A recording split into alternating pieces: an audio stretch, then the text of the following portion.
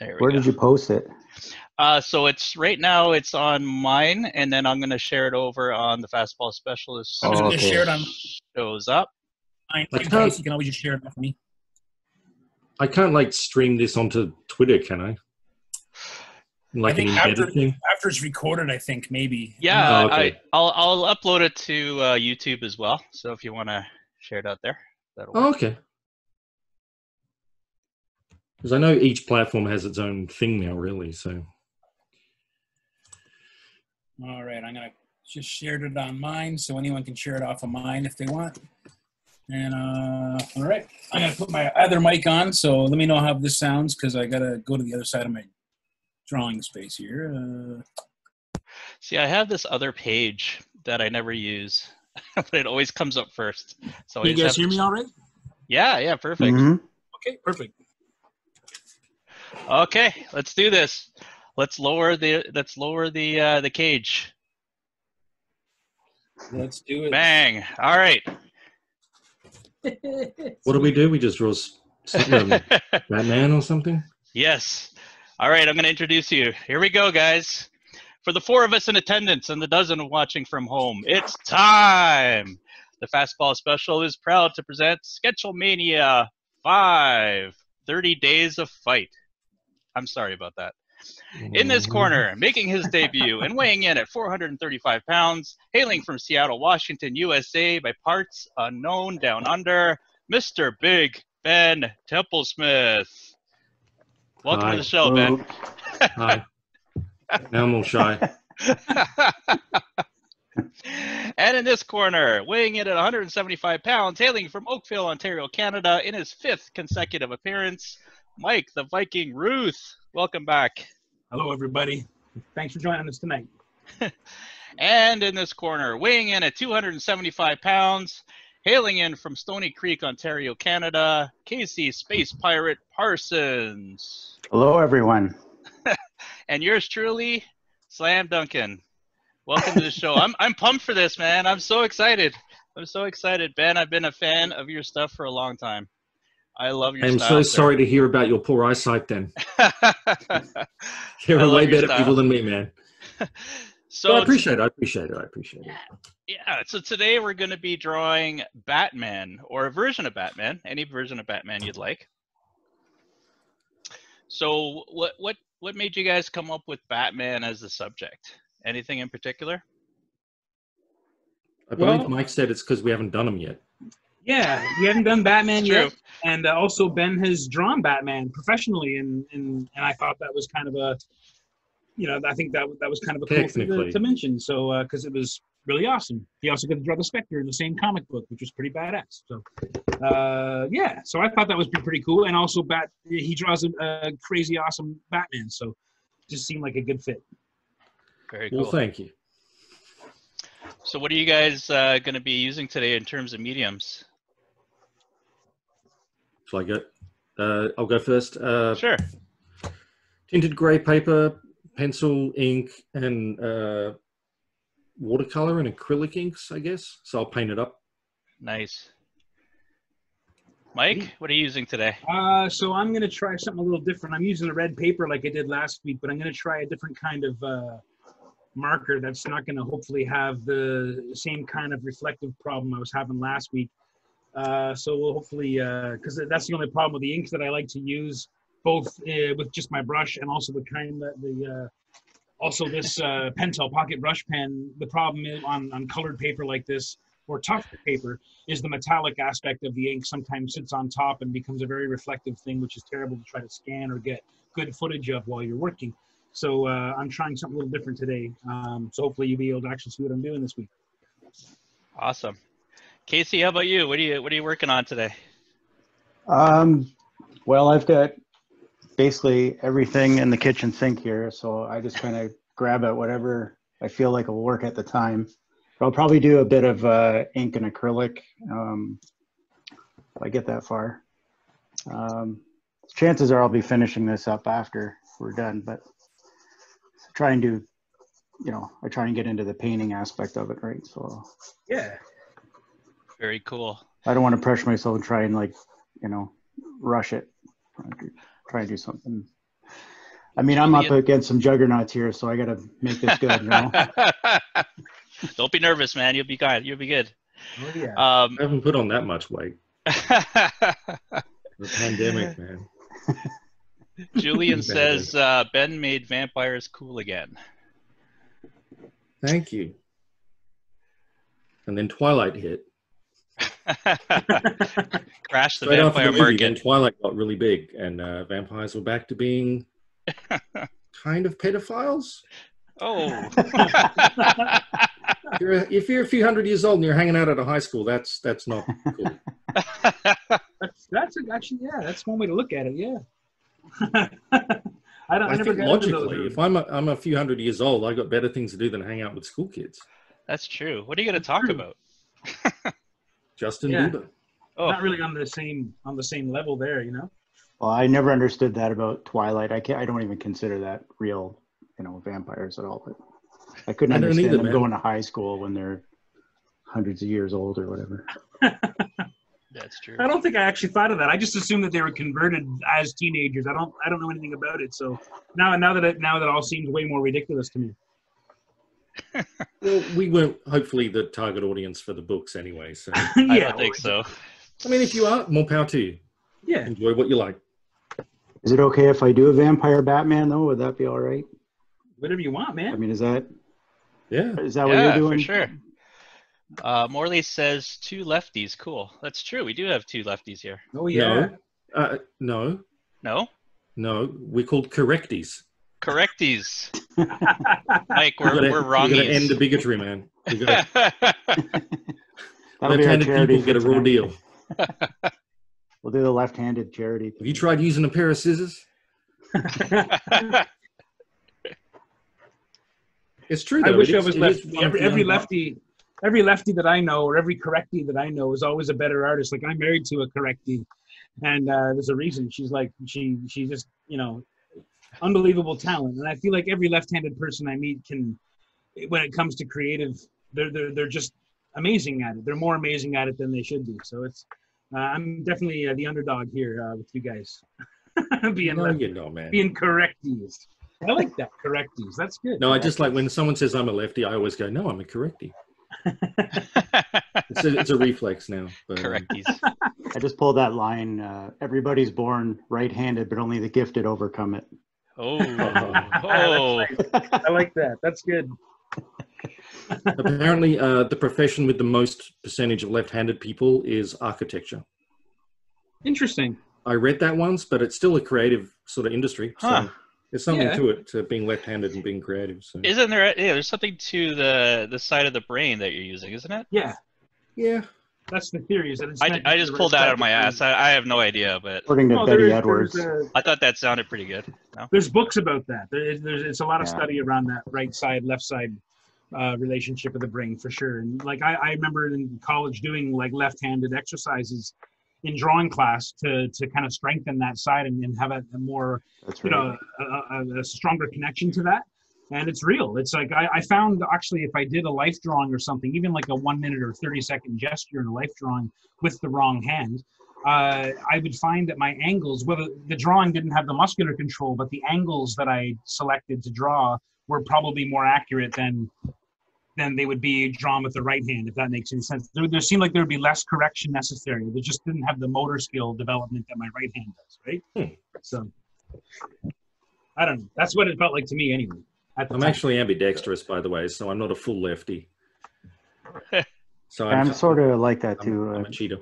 use both. I think all lefties have to be though to to a degree. Like I know Erica definitely Yeah. is, like um, uses her right hand for a lot of stuff. You know, like the creative stuff and, and on the bench and whatever. You know, It's a right-handed world. it is a right-handed world. And that's what I'm trying to change. One day at a time. Our, our charity t- tonight will be uh, making it a left-handed world. I'm not a Donate to the supremacist. cause. Wait a second. I'm not a left-handed supremacist. I just, Wait a second. Supremacist. I just want equality. Whoa. this took a turn. Well, that's what you'd call it if you were, you know. I guess so. I don't want to make you left-handed. Yeah, you can't say you're a leftist. Yeah, A leftist. Wait a minute. But we'd I- be a I am writer. Someone's, Technically, someone's we- just tuning in right now, and they're what's going on? what the hell? What are they talking about? um, speaking of which, So Batman. so Batman. No, uh, actually, let's, let's talk about the charities a little bit. Um, so as per the regular schedule Mania, uh, we'll be doing an auction for these pieces. Um, so this time we decided to make it uh, artists' choice charities. Um, Was it? Sorry, is it not usually artist choice? I didn't know. um, no, well, this be, normally I'll do the same charity at the same time, but we just We thought we would try something a little different. yeah, Well, you're yeah. all Canadian, right? So you have various Canadian uh, relevant things up there. for sure, for sure. Yeah. Um, but uh, I don't know what charities you've been giving to lately with the with these. Uh, we were actually all over the place. Uh, we did Okay. a, a food bank last uh, last time Nice. round. Uh, we did the uh, kids help helpline, um, which is a, a helpline when uh, kids have issues and they need to call someone. So we're kind of all over the place. Um, Yeah. But yeah, um, Casey, Sorry did to you? Yep, screw sorry. it up. Sorry to screw it up. No, it's all good. You're not screwing it up. Did you want to talk about yours first, Ben? Uh, Sorry. Well, I'm I'm. Uh, it's called um, not this time, and uh, Okay. it's a Seattle. Not this time with an exclamation mark. Um, it's a Seattle-based charity to do with social justice and uh, to, and police violence and stuff. And it actually apparently had had some effect on some policy locally. So Oh, I figured, oh, they've actually already done some stuff, so I'll do some stuff for them. I've done a bit of stuff for them before, so so we'll go to social justice, helping the policies about all the trouble that's going on right now. Sure. Very timely. Very timely. I Um, figured, yeah, now is a good time for that. So That's yeah, exactly, exactly. Uh, Mike, have you have you landed on one? Yeah. Uh, this week I'm going to be supporting the NIA Center for the Arts in Toronto. And what's what's the Neo Center? The NIA Center for the Arts is the uh, it's a it's a Toronto-based not-for-profit organization that supports, showcases, and promotes uh, an appreciation of arts from across the uh, African um, diaspora. I don't know how you say that word. How do you say it? diaspora. Yeah. Yeah. Yeah, I never think I've ever said that word out loud before. Sorry. That's, I'm pretty sure it's diaspora, yeah. Very cool. yeah. but I'm foreign. Ignore me. Casey, where's yours going? so I've been uh, getting back into doing um, some First Nations research and things. So I was, it's in the news all the time about uh, communities up north um, not having fresh water. And it's something like 20% of the First Nations communities are, are under like boil water advisories and stuff. Wow. So it's like thousands and thousands of homes. So I thought maybe that might be, a, you know, something worthwhile That's good. help one. out. And it's and it's it's worse right now. Like like they're having a harder time getting things now. You know, with with uh, you know not getting resources to communities and stuff. So Oh, that's great, man. That's great. Yeah, I love I, I love doing these. Yeah, man, we've done this. we've we've raised some money so far. We've only done like this is our fifth one, and we've actually. I think you're well on your way to your goal. You know, like I think you're well on your way to. We're making an impact every week in some small way, and it's, For sure, it, it, for sure. it feels good. You know. And I'll tell you, uh, I mean, I'm constantly being inundated by people uh, reaching out to me and saying they're just loving it. I mean, you know, That's we're all sort of on lockdown, right? And we're not being, we're, we're not able to go to the comic cons like we used to to see this some of this. So I'm I'm happy to bring a little bit of that to a lot of folks. And thanks to you guys for volunteering and and uh, sharing your talents. It's great, man. Thank you for having me. Yeah, man. It's fun. yeah, it's nice that you got this platform to to help out. It's nice to be invited back. I didn't think you'd have me again. What? Come on, Why? You killed everybody uh, in Spider-Man week, man. What are you talking about? It's not like you're trying to make everybody a lefty, Go left or go Again home. with that. like that that Templesmith. I'm not a left-hand supremacist. I, I promise. Just use the hand you were born with. But even then, that that that's a philosophical argument right there. I don't know. Is that the hand you were dealt? Yes. It's crazy, right? Like that was associated with the hand of the devil, and they used to beat children if they were using their left hand. Well, You- Yeah. You know about you know that, what hand right? you used to wipe with, or still, I don't know. Right. So- Yeah, that's in some. Yeah, like yeah, in some cultures, right? Like that's like your left hand. You do that kind of the dirty stuff, and the right hand is for more social think- interaction. And I think that was generally every culture, though. yeah, We haven't had modern plumbing in in most places for until very recently, really. that's true. Yeah. Mike, Thank you, there's a John buzz. Crapper. There's a buzz about your uh, your beard. It keeps popping on the camera. Is that right? nice. Well, as long as my flabby grandma So- arms aren't getting into the into the picture, that's all that matters. So Paul's asking if these are being auctioned. So Paul, you can actually start the auction in the chat right here. Uh, we're going to continue on, and we're going to complete it uh, Thursday at noon. The uh, the winners will be reached out to, and what we'll ask the winners to do is is to, sorry, I'm seeing the replay and I see Mike's beard just keep coming out. Um, there, so by by Thursday at noon, I got all I got all messed up. By Thursday at noon, uh, we'll reach out to the winners and uh, we'll make sure that uh, you donate to the specific charity, and uh, we'll have these pieces mailed out to you. But by all means, start uh, start in the chat here. We'll just carry it on into the official uh, comment section of the auction. Is this Paul who's bid before? Who's been on before? Paul Schwarber. Oh, Paul I think I know Schwarber. that name. Paul, yeah, you know Paul. Paul's in Kentucky, man. Yeah, yeah, from uh, CincyCon. Yeah, yeah. I think that's where I met him. Yeah, Oh man, I didn't even know you're on here, Paul. That's awesome. I don't remember many people. I remember Paul. Yeah. No, you Tim don't forget a Duncan. like Paul. Tim Duncan says, uh, thanks again to the artists for giving your art. This is so much fun to watch. I don't care which hand they work with. That's good. That's the uh, political answer. Thanks for joining again, Tim. Tim's a good guy. He's bid on a few pieces already. Like, Nice. got a- his collection's growing from this. Oh, yeah. I actually enjoyed uh, drawing along just for the heck of it. It's the Yeah. only time I draw. It's good, Sorry, man. It's healthy. That's great. Drawing is a very healthy thing. If I didn't have drawing, I wouldn't be nothing. Here. I'm going to zoom in on uh, Ben's there a little bit. Looks like he's got an outline going. Yep, Nice, nice. I work pretty quick though, mind you. So Wow. Yep. See, that's I new Batman would be perfect this week.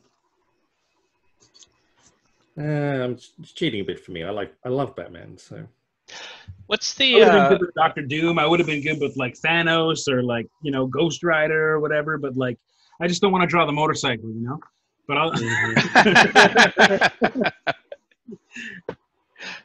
Batman's always so fun to draw. There's just Yeah. infinite ways, you know. Yeah. You can't go wrong. pretty much the most iconic superhero with his shape. So yes. the ears and the cape, you could spot him a mile away. So Yep. visually, yeah, he wins. I think anyway. and he's you know super like cross generational. Like there's people who like different, you know, fully legit different versions of you know or you know outcomes of Batman. You know what I mean? And it's uh, it's great. Like So we had this question uh, last week, Ben. Um, Uh oh, I'm and- sorry. yeah, Whatever I it's did, all I apologize. right. and uh, Casey and Mike actually already answered this one, but uh, who's got the better rogues gallery, Spider-Man or Batman? Uh, Batman? Yeah? Why is that? Absolutely.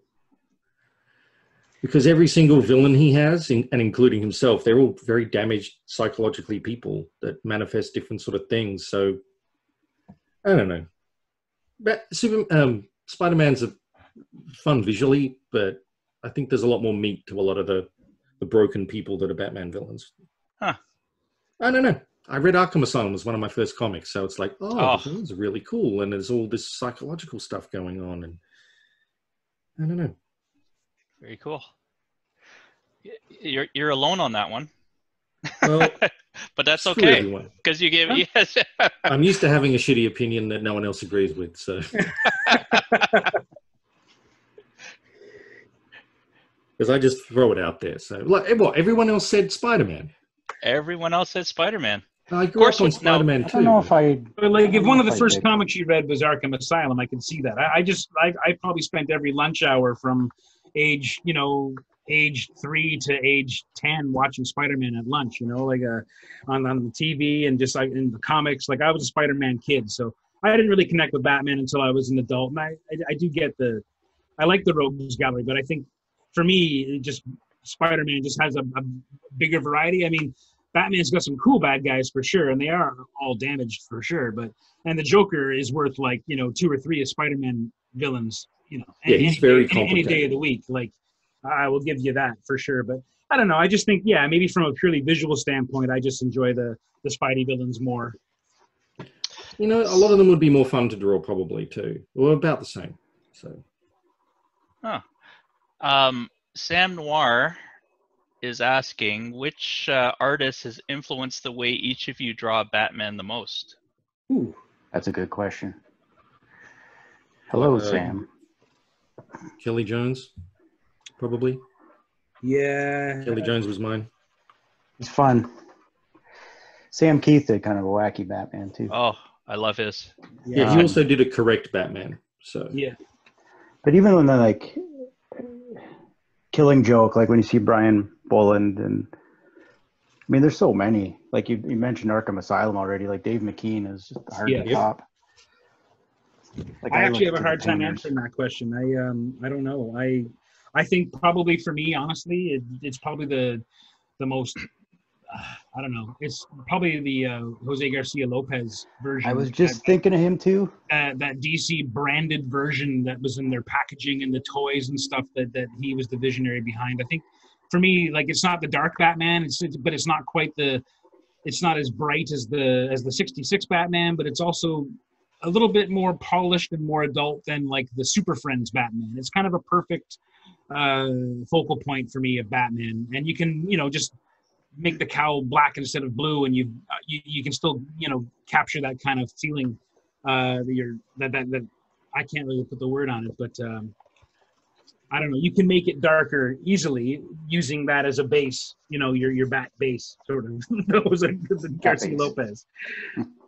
Yeah, and he did the Batman versus Hulk. Yeah. Yeah, yeah. And that was my first introduction to Batman too, was that book, and it's so well done. It's true. Yeah, I just started thinking of him before you, right when you said it. There's too many. But you know, Simon Bisley might have been the first like Batman comic that I Oh. picked up and bought off the shelf because it was like the Batman and Dredd, I think. Yeah, that And, was uh, amazing. The painted. Yeah. So I don't know. I don't know if Biz must have done some more Bat Batman stuff after that as well. I just uh, that one comes to He's done a mind bit. as being pretty crisp and clean in my head. I just finished reading Slain, Slain or Slanya, and uh, it was uh, wait, what did you call it? S- Slanya. Like the, or Is that uh, really how you say it? well, that's how they tell you to say it in the front of the book. That's what Pat Mills has written in the front. Is that Well, right? that's the way I'm meant to say it. The pronoun- that's the way it's meant to be said. Yeah, but I uh, but I I, had no know idea. it says Slain. Yeah. Slonya. I always thought it was Slain. Slanya. Sounds like Hmm. Sonia. Julian says Norm Breyfogle, Kelly Jones, and also Bernie Wrightson. Oh, you gotta Yo, love Bernie Bernie- Wrightson too. Yeah. Yeah, Bernie's Batman was great for sure, and I and actually, yeah, Norm's was was fantastic. Norm was so definitive in the '90s, like for Batman. I think really, you know. Hmm. Then you get Miller and Mazzucchelli on year one, and Yeah, Neal Adams. Neal Adams for sure. I love Yeah. I, I love Frank's uh, you know Dark Knight Returns obviously too. Like that's that's a great Batman look, at iconic. You know, yeah. I have He's issues with the the Frank Miller drawn- Batman. What's that? I have, you know, I have issues with Frank, the, the Frank Miller style Batman Yeah, because bats. the the the, the chunky Batman, like the Well, the reason why Batman dresses up as a bat is to not go to Mardi Gras and look and look fancy. He's trying to look menacing and foreboding, and you know, have that presence, right? yeah There are two kinds of bats. There's the micro bats with the horseshoe bat, vampire bat, the ones with the big ears and sonar, And then there's the other kind, which I forget the name of. They're the fruit bats with the small ears and the big cutesy eyes. Batman should have big ears because he's a microbat, kind of fly in the night one. He's not a fruit bat. so I always give him big ears. Huh. But I, I'll give Frank Miller a pass because he does like the best Batman. So he looks very Yeah. butch. Bernie made some long ass ears. Like I love the the cult, like Batman. the Oh, yeah. just, like, Yeah. crazy. Like I loved how he drew the Batman in that. Actually, yeah, he's yeah, man. Bernie drew everything perfect though. Literally everything he drew was perfect. Yeah, gotta love his stuff. Hmm. Uh, Paul says Darwyn Cooke's Batman was one of his favorites. Oh yeah, Darwin did a great Batman too. Yeah. Someone wants to know what your favorite Batman movie was. Did you like any of them? Dark Knight trilogy, okay. all of them. Well, you know, probably the s- second one most, I guess. No, uh, yeah, the second. Which was the one with Heath Ledger? Second it's the one. Second. Yeah, it was the second. Yeah. I'm old. I forget everything now. Casey, who you got?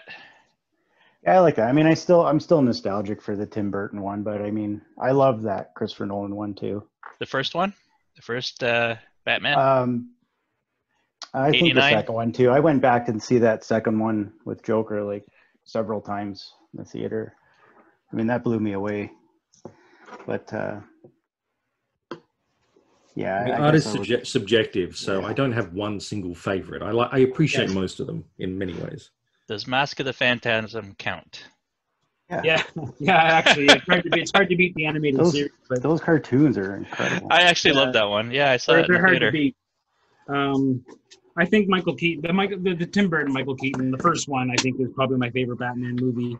Um, I wasn't a huge fan of the Nolan ones. Um, I, I liked aspects of them, but I didn't like him as Batman at all. And to me, that's kind of the whole point. But I thought the supporting cast was great in every in every case, and I liked Christian Christian, uh, Christian Bale and lots of things, but I didn't care for him as Batman. He wasn't a bad Bruce Wayne, but I didn't care for him as Batman uh, Mm. very much at all. I thought I knew you, Mike. Huh? I thought I knew you. what is this? He's a right-handed Spider-Man lover. That's it. Damn.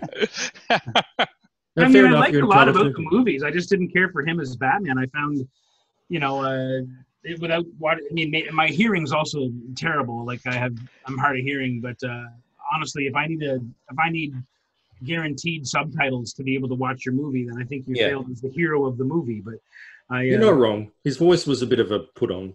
So Yeah. it was just it was just so overdone and then like i just wanted him to take a drink like just stop and take a drink and then continue because he's starting to get a little dry in the room and he's you know he's still pushing it it's the the words stop losing any kind of sharpness and eventually it just sounds like this. it just it was horrible uh, i found bane much easier to understand than than than him so that was wow. you know it was just yeah i don't know can you too imagine many if you, motor actually, conscience man imagine if you actually knew him in real life and then you met him as Batman and he just put on the gruff voice. It's like, why are you making a stupid voice, Bruce? What the fuck? That's true. Oh, so not, I'm not Bruce. I'm some other. what are you talking about? Yeah. I own this hotel.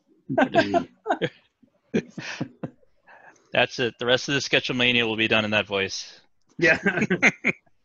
No one will be talking in half an hour. What was that?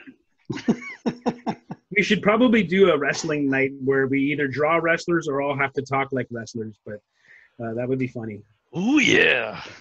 I'll do that all night. You get just some guy who just barks like the Ultimate Warrior the whole time. now I'm using my HP pencil. I'll just be the animal and say mine.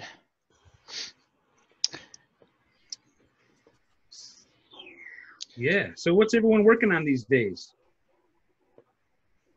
Uh, my bank balance. what? my, my bank balance. The same thing. I'm always desperately trying to work on. Yeah. Uh, I got asked to do something really cool that uh, is a very big thing for me, but I can't talk about it. Of course. It's only a small thing. but I can't talk about it. Those are sometimes the best ones. No, it's like when you're a fan of something, you know, when you grow up, it's like, oh, oh, okay, I'll do a little bit of that. So I can sleep. I sleep better at night. So I got to do a like a pin up in the Mad Max book when it came out. So Yes. that's sort of very important to me. So, Oh, that's have- cool. well, you know, it's kind of an Australian thing. Yes. Unfortunately, everyone in America goes to um, uh, Crocodile Dundee, but I say no, no, no, no, Mad Max. Yes. Yeah. If you're going to Yep. think of an Australian stereotype, please use the one that was actually, you know, still works and was a really I- good. I love the first film. Oh yeah. I I can't remember. I mean, I I had it. I recorded it. I can't remember how many times I watched that. on You mean the actual first film? Yes. Yeah. Yeah. Okay, because Yeah, yeah. It get it gets complicated. You, I keep forgetting you guys are uh, not Americans. so Mad Max. different. Yeah, yeah. Yes. And then there was the, the Road Warrior was the second, right? it was the So, second film. Yep. Yeah. And it was Which I also liked, but there was something about that first film that oh, was the just so first one is just such a different animal altogether. Yeah, Yeah. it's it's really, yeah, it's fucking awesome. Sorry, it's really awesome. Oh, see, I'm sweating, guys. It's Okay. already starting to drip. I Swearing. gotta, There you go. Sweating. Oh, the sweats. The sweat's coming out. The pressure's Right. on. Do I need to do a, uh, spotlight? There we go. zoom in. it's we're zoomed in.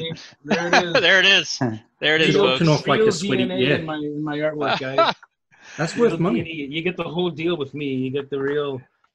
I might have missed some of them, but I think we're at about 140 bucks for the bids so far. Nice. It's going up already. Already, eh? Yeah. I'm gonna uh, just quickly share my screen because there's a few things uh, I want. Well, I want to share. So one sec. Let's see. Share screen. Actually, I wanted to talk about this first. The corrupted creatures playmats. Ben, can you talk a little bit about that? Because I think this is a very, Not very really. cool. I did some art for some gaming mats. Uh, nice. no, it was it was it was cool. And it was a challenge. Yeah. Um, but I'm not involved in it more than that. Like that's what I did. So I mean, I have Okay. samples. but they were, I mean they were cool. But uh, and there's like one for each race or whatever you want to call the, you know, an angel, a, uh demon, uh, a mer person, a, dragon. like, you're asking the wrong guy. I'm not the creator or anything. I just got I got asked to do like six images, so it was like it was a fun thing. It was a challenge, but um, yeah, Very cool. And did didn't you work on um, some D and D book way back? Is that correct? uh, I probably did a Bean tiny little bit. or I've done, I think, a tiny little bit of Wizards of the Coast work, very or cool. whatever the other one was, White Wolf as well. Tiny bit. That was many, many years ago. Like as a small illustration job. I haven't done much. I did some sort of hex thing. They had a hex game thing with little hexag- hexagonal cards. I did a couple of them. Huh. And I should also add, I've done many Kickstarters, and I'm finally wrapping up the old one that I'm I got to finish. So, Nice. but that one wasn't me. That one was totally just those guys. After they, you know, asked me to do some art. Everyone Very loves cool. them. I know uh, Chris Sampson, uh, a friend of mine uh, from the works at Xenoscope. He's a tremendous fan of uh, Ben's, and he was so excited about that Kickstarter and so excited to get uh, to get those gaming mats. And I, then I then and Martin the other a couple weeks ago was like, "Yeah, I got I got Ben's gaming mat." And I'm like, "That's so awesome!" Yeah. Very cool. uh, Julian wants to know what kind of. Sorry, we're gonna go back to Batman. Apparently. Sure. what kind of band? What kind of band shirts do Batman rock on his day off? Hmm. Uh, he's a he's a billionaire and he's buff because he's Batman. I think he would just go shirtless. Hmm. Hmm. Honestly. Why not? Or the correct answer is whatever Alfred Damwell puts out for him that day. Yeah. Hmm. Ah. He ain't got time to choose. He just, you know, that's what Alfred's for. Doesn't waste brain power. I wonder if he's Is ever he- been drawn with a bat with a with a shirt on before. i- Is he into the Cure? Maybe I don't know. Sure. is he an emo? The Killing Joke. Perhaps the Killing Joke. That'd be that'd be a funny band shirt to have him wearing. Actually, that'd be great. Oh, jeez. That's funny. I think it'd be Yanni. It'd be like Yanni. So Yanni? Yanni Yeah. rocking the Yanni shirt. Is it, Yeah. I've never seen a Yanni shirt. Yeah, they might It not. all depends on which. Oh, look at that sweat! Look at that ridiculousness! Oh, good lord! Oh my god! That literally rolled down my beard and did like a cannonball under my head. Oh. No, it's so humid in here. Woo. How are the cats doing in there? They don't enjoy the humidity very much. Rama has uh, spent most of the time uh, just laying on the floor, finding cool spots, and we've been making some cool areas for him. And uh, Bear mostly spends his time upstairs with his feet pressed against the wall because I think the wall's a bit cooler. Um, but it's, it hasn't been that bad today compared to the last few days. But yeah, it's been pretty bad. Like you've got a little, you've got like a window unit, don't you? Like a little, Yeah, yeah. It's just it's a bit of an awkward setup, but we got it set up right now. We just don't run it all the time because it's super expensive. But um, that's the main reason. But uh, when the cats, you know, we will, we the cats will never suffer. They're just this is their normal behavior, but just maybe slightly ten percent, you know, switched on a little more. Uh, they're older cats, and it's Yeah. uh, you know, they're comfortable, but. Um, we have the air on when it gets anything higher than like you know 28 or whatever outside. yeah, like bears. Yeah. So furry. Yeah, Bear's a woolly guy, so This is why I like living in Seattle. yeah, the weather's sure We nice get there, man. I uh, was sorry I wouldn't be able to go to you know the Emerald City and visit you guys recently the last couple of years. Such a good time last time, and such a beautiful place. The market, the the whole the whole scene, the whole walk downtown, all of it, just fantastic place. So, so do, lo- do locals go to the market as well? I loved it. Uh, I used to. Yeah? Because I used to live close. So Yeah, you're further away now, eh? yeah, I'm in uh, a place called West Seattle. Ah, Uh, the bridge just broke, so we may not have a bridge ever again, or be built in about ten years. Uh, we also just had a, a bag of uh, human body parts wash up on the beach, which is fun. Oh my that God. happened like two days ago. Whoa. Jeez. So We're I'm like three blocks from a little bit of beach because uh, Seattle doesn't have much actual beach. So I'm a, I'm a I'm a little boat ride from the rest of the main city. Hmm. And I'm not joking about the body parts. Jeez. Like it's It's on multiple. the news. Ugh. Yikes. Uh, Se- Seattle, um, Pacific Northwest is, is home to a great many serial killers. There's a, or has been historically. I'm not trying to go dark. I do horror comics for a living. Wow. it got really quiet there for a minute. I'm just saying it's Yeah, not me I- either. I remember so that, I, though. didn't Uh, it. we, we were talking about the market. I and we got wonder to, if uh, we got yeah, to the bodies.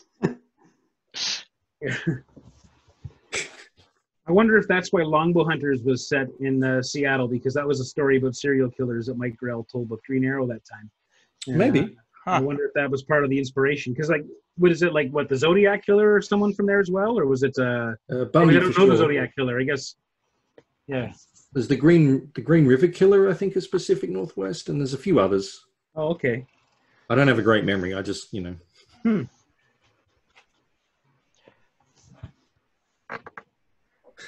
I got. I promise I won't talk about serial killers anymore. That's all right. Nothing's off limits, man. no, not at all. No, don't tell me that. Uh, Meatloaf's Bat Out of Hell. Oh, I guess that's the T-shirt. oh yeah, and that's a Richard Corbin painting on that. There you go. The T-shirt would be better than the concert, unfortunately. Yeah. You know he sings notoriously off key, right? Meatloaf. Really? Yeah, yeah. Oh, he's had some bad perf- live I performances. think Erica's seen Meatloaf in the '90s when he came back with the big, uh, the big Robin Hood, uh, the Robin Hood movie soundtrack and all that. That was probably well back when he was more on top of his game, I'd say probably.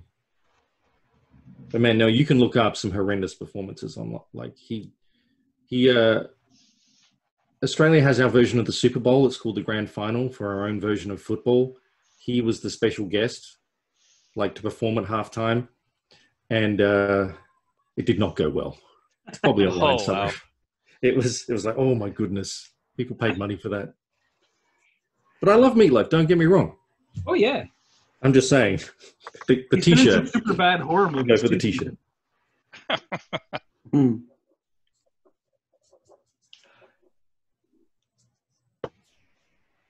I gotta turn around and take a look what everyone's doing. I got my back to y'all while I draw here. Gotta find a better setup, but right now I haven't got the space to have like my computer next to my my drawing table, so they they have to be across from each other.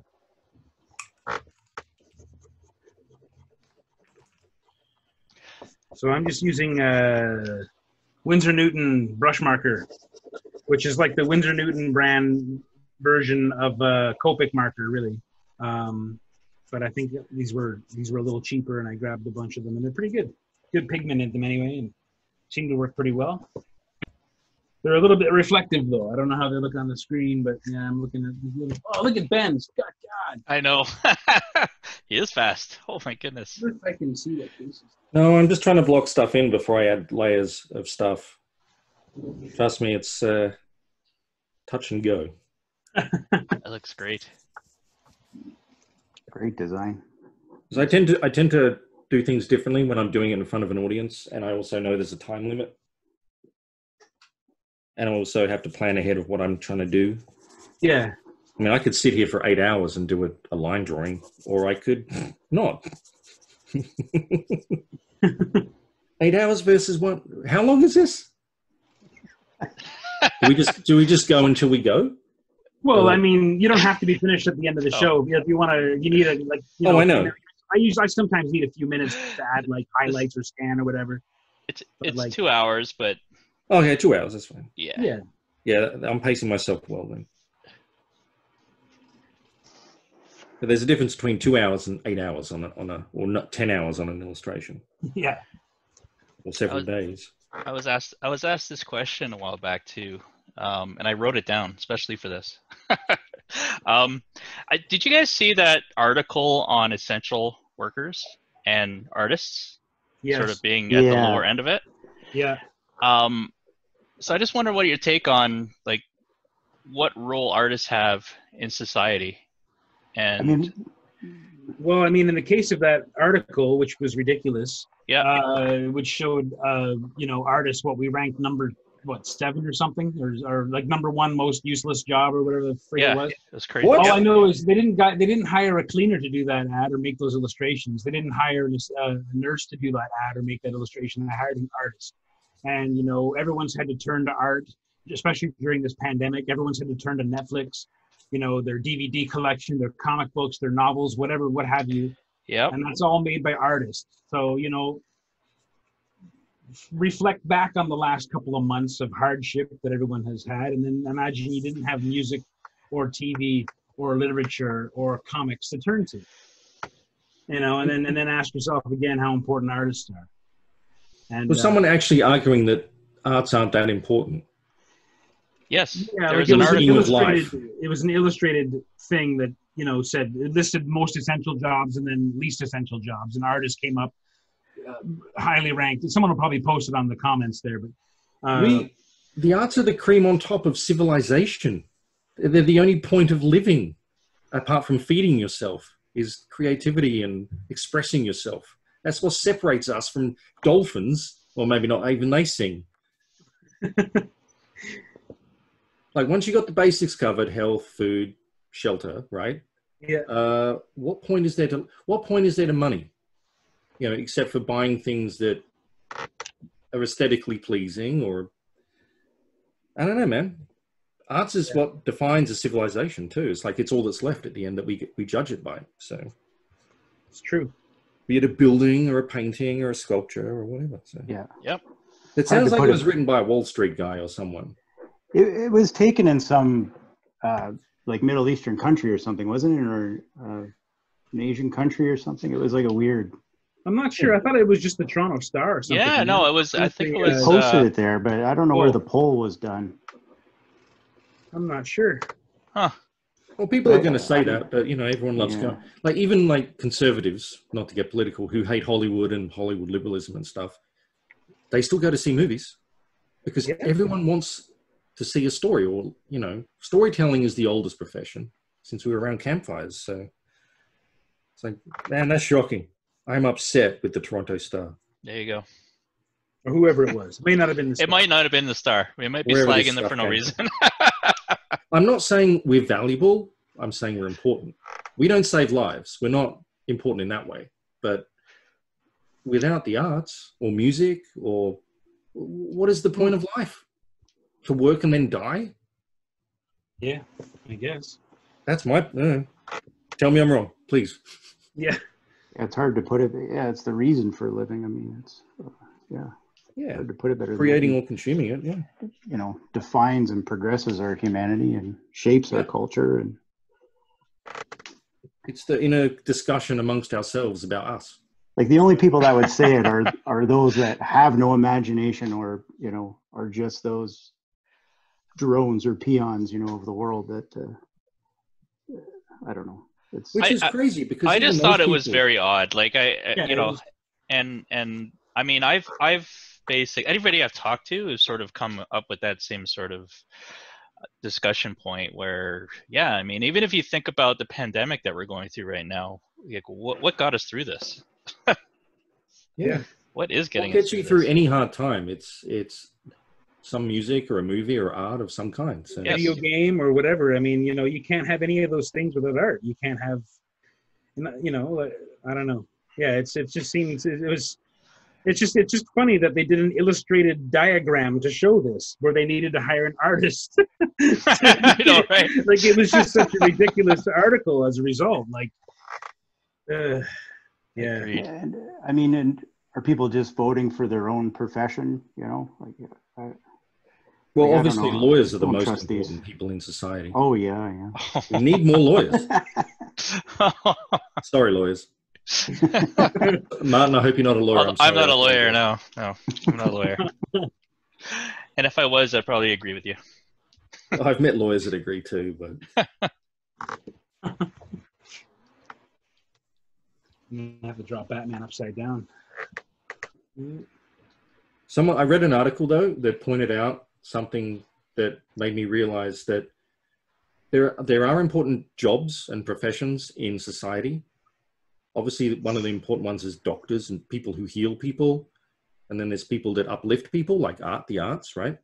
And then there's a lot of people in the economy, and they have a job, but they don't actually do anything that makes anything or does anything. What they do is a job that because something else needs something else that is kind of more just busy work, even if it's not seen as busy work. So like when you create paperwork for no real reason when you could really be more efficient, that creates a whole bunch of jobs. So there's a whole bunch of jobs in like the American healthcare industry that don't necessarily have to be there. They're just busy work when you could make an efficient system. You know what I mean? I mean, they st- they're the biggest user of faxes still in the world. You don't need to fax things anymore, technically. You can go digital. Now that sounds like like, that. my job. Yeah, and, and lawyers. and and law- the lawyerly profession makes sure that you need them, put it that way. Like Mm. if they write the rules, of course you're going to make sure you need a lawyer. At least until the robots take over and the AI. it, was, it was an interesting, interesting perspective on what's actually important Mhm. and, and it contributes to society.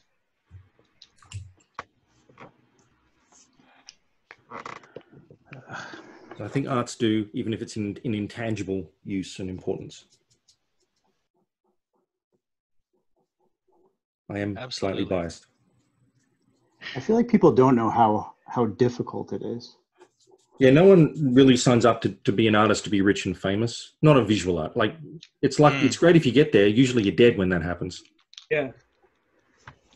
Yeah, I'm always amazed when people tell me how oh it must be so great to have such an easy job because they see something happen easily on a page and they think that that's just something that just you Yeah. know there's no explanation for it just you know and it's flattering as at the same time as being like ridiculous. And uh, you know it's it's not an easy job. I've I've I used to dig trenches in the hot summer sun that's a as, tough young, as a younger as a younger and much more fit man. And that's hard work. That's hard Yeah. digging. That's that's tough physical work and you know what I've lost more sleep and been more broken physically by making comics and making art and trying to survive on that than I have swinging a shovel or working a telephone for uh, telemarketing or unloading trucks for a grocery store or whatever other job I've had in my life. you know what I mean, uh, retail, whatever. Nothing's has been as hard as comic and as comics, and nothing's also been as rewarding. Uh, nothing has paid me less, but nothing has has been more enjoyable to do. So it's That's strange. It's a lot more It's personal too. It's very Huh? personal to you. It's very personal to you too, It is. right? It is. So Yeah. It takes a toll that way. Yeah. Mm. It eats you up sometimes. It eats you up. You lose sleep. You lose. You know. You lose hope sometimes, and it's uh, yeah, it's, it can be tough. It can be really tough. But you know, it's um, it, it just looks like you know cartoons and pictures to people who who just enjoy it for from that standpoint alone. But I love those people because that, Sometimes that's that's most people, and that gives us the ability to have a job because they can't do that. They can't understand Yeah. your brain of how you can do that. That's good. That means you, you have a little more monopoly on that. Sure. Yeah. We need consumers as much as doers. So I mean, we don't. It's a personal thing anyway. But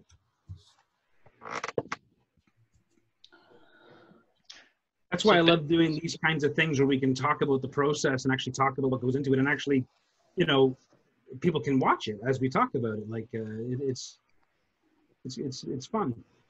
I mean, I, I I love just listening to it, right? As an outsider, but Well, and you also draw too, Martin. So it's also you've Well- also got some, you know, uh, and you're a hell of a painter when it comes to miniatures and model building and that.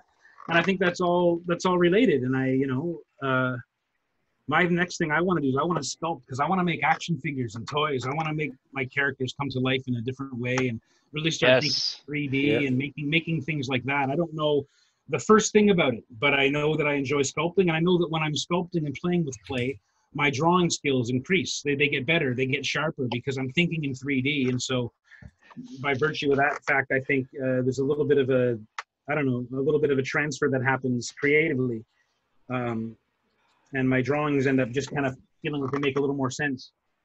Mike, we got to do something for sure together. Yeah, absolutely, man. I'd love to. I want to make some stuff. Martin, do you do 3D stuff? No, You I, make I just I, I generally just uh, do painting. He's Oh, got a printer though, and he does 3D stuff. He's just getting started at it. All and right. He's awesome. Yeah, I just started, um, but I do want to get into the modeling aspect at some point. Yeah, I need, need to find a resin caster.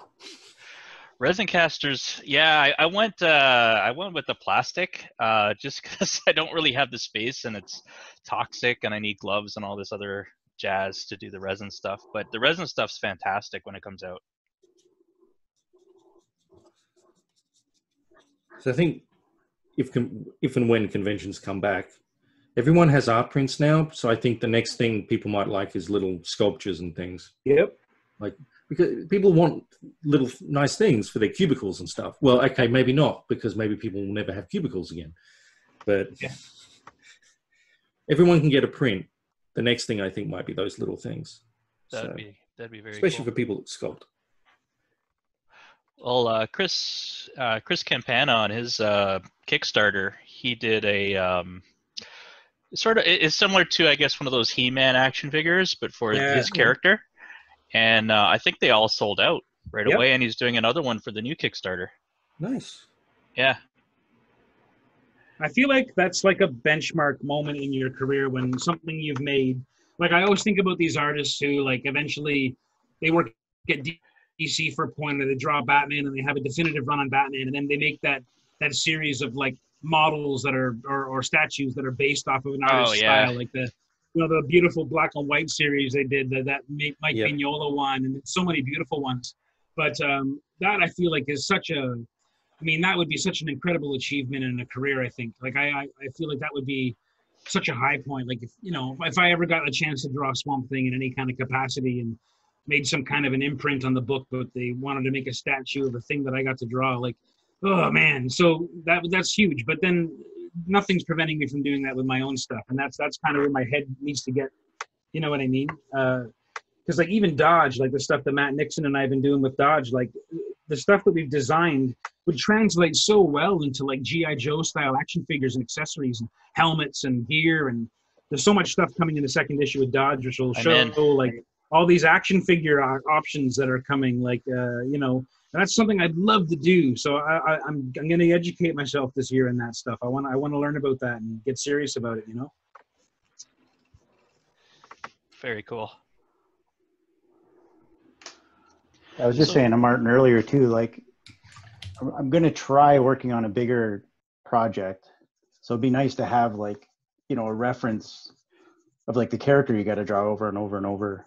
Oh Nice to have that, you Spin it Well, I just around. saw- light it and yeah. I sculpted this uh, swamp thing head years ag- like like last year. I swa- I sculpted it with just DAS clay, and um, honestly, man, just having this thing on my desk and being able to throw a light bulb on it, you know, it's not even a great sculpt of his head, but it, it gives me enough information that I can make any kind of swamp thing, you know, any kind of head pose I want just by throwing a light, you know, a light source on it and playing around, and I can make you know, as many as I want. But I wanted to do a bunch of these, yeah, for my own characters, like for Dodge and for different things Yeah. uh, because I just feel like it it just it's such an unbelievable resource and a great tool for, for when you're drawing. I need stuff like that. yeah. I lost the lid to my marker, man. I'm just waiting for some ink to dry a little bit. Oh wow, that looks great. I thank you, but So, nowhere near I want it yet. That's all right. so, so Ben, uh, did, did you actually seek out a lot of those darker, um, like some of the darker work, or is that something, uh, or did people sort of seek you out based on the type of art that you do? Like, how, how does that work? I mean, in general, like, in in general, I guess. Yeah. Yeah. Uh, I just like darker stuff. I mean, I like mature stuff, and then I, you know, all the films I grew up watching that spoke to me the most were the the dark horror science fiction type stuff. So, you know, as a young, you know, the young boy, drawing monsters and dinosaurs is much cooler than drawing uh, pretty things, Yeah. which really annoyed my mum. She preferred flowers, but no, so I just went from there. I like mood and atmosphere and stuff like that. So, yeah. I mean, I mean, and then when you do enough of it and you get known for it a bit, I mean, that's what I'm best at. Well, I'm not going to say I'm good at anything, but it's what I'm best at, I guess, to those Right. people. So they ask me to do more.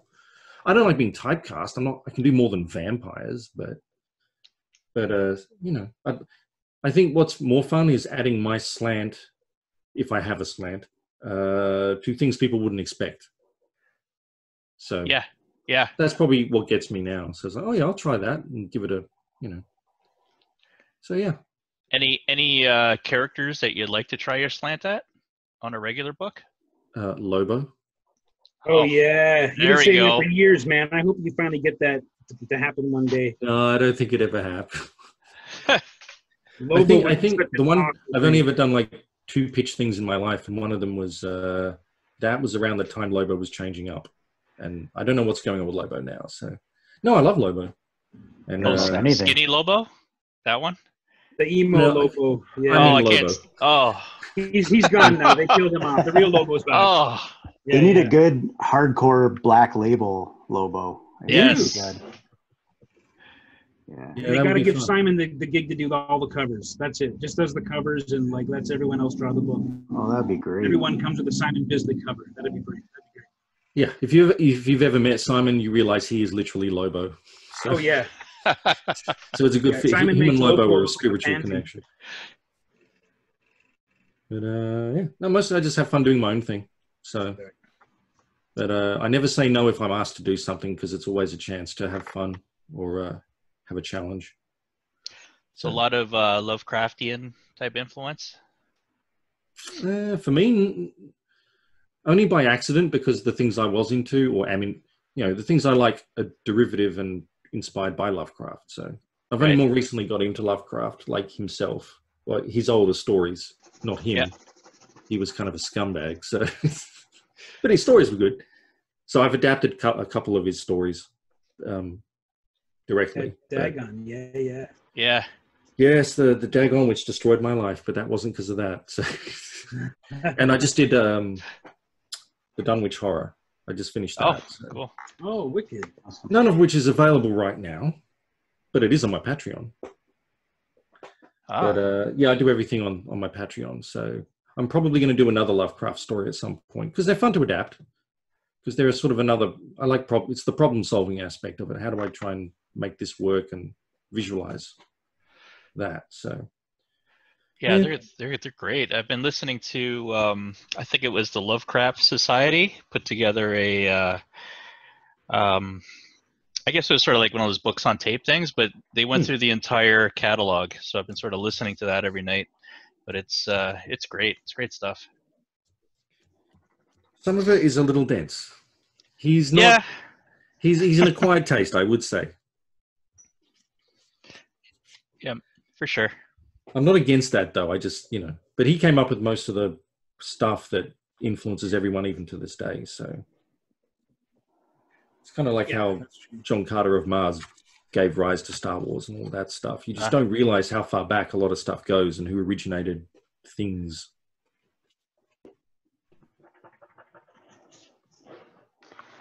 I'm hating this. God.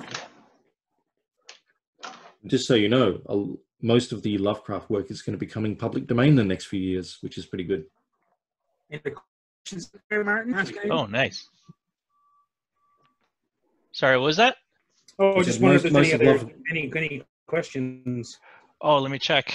Any ask any. Uh, where's Eric? Is Eric even on this show, man? What's the deal? Eric? no, I don't even know. Who's Eric? Yeah, He's asleep. Eric- How about Sleepy Shane? Eric? Is Shane right, I got I got some questions here. yeah, or Shane. Sam's on. That's good. Okay. Yeah, we got Ben. And...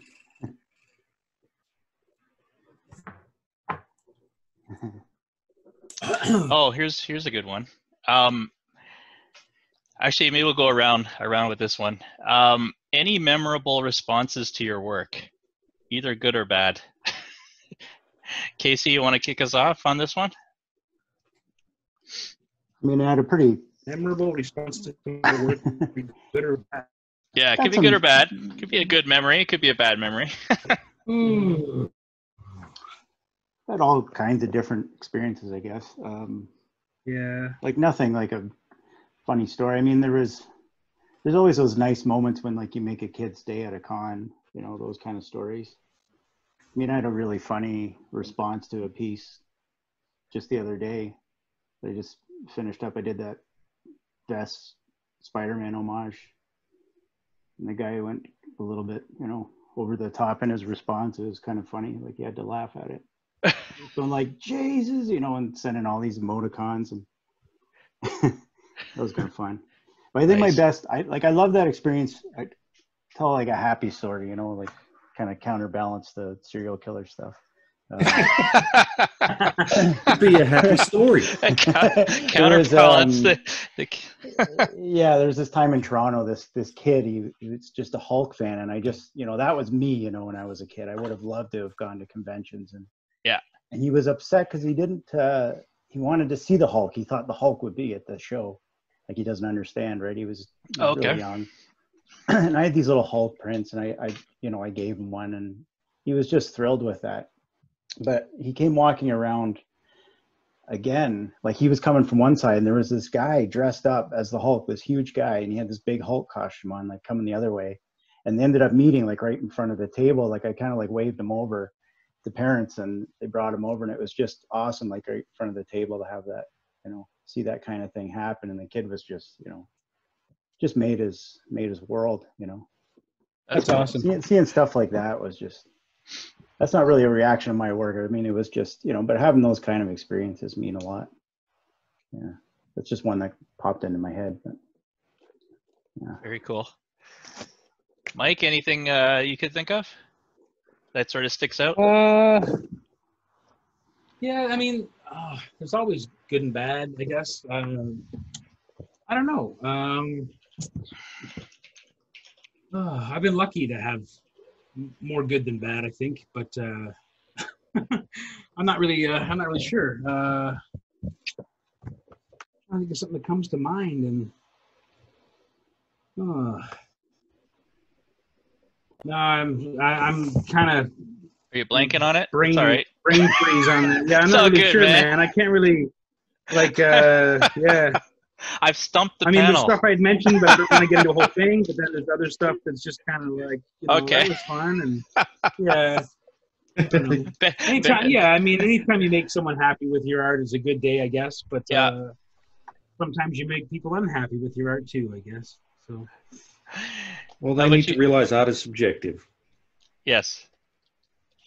And Sure. uh, I don't have a specific story at all because, you know, honestly, most experiences I'd say have been happy when I give artwork and whatnot. But um, my my best experience ever uh, to my work was uh, it was a San Diego con, and I used to live nearby. So real quick between things I was doing, I wanted to run home and uh, change clothes to come back to the show. And as I was walking a few blocks, there was a little girl in front, and uh, she had a dog, like a little helper type dog, and it ran off or something. So she was like running after it, and like, oh, that's unfortunate. You know, hope she finds Oh. the dog. And it ran into a local cafe on my corner. So I went. I didn't. I had to walk by the cafe.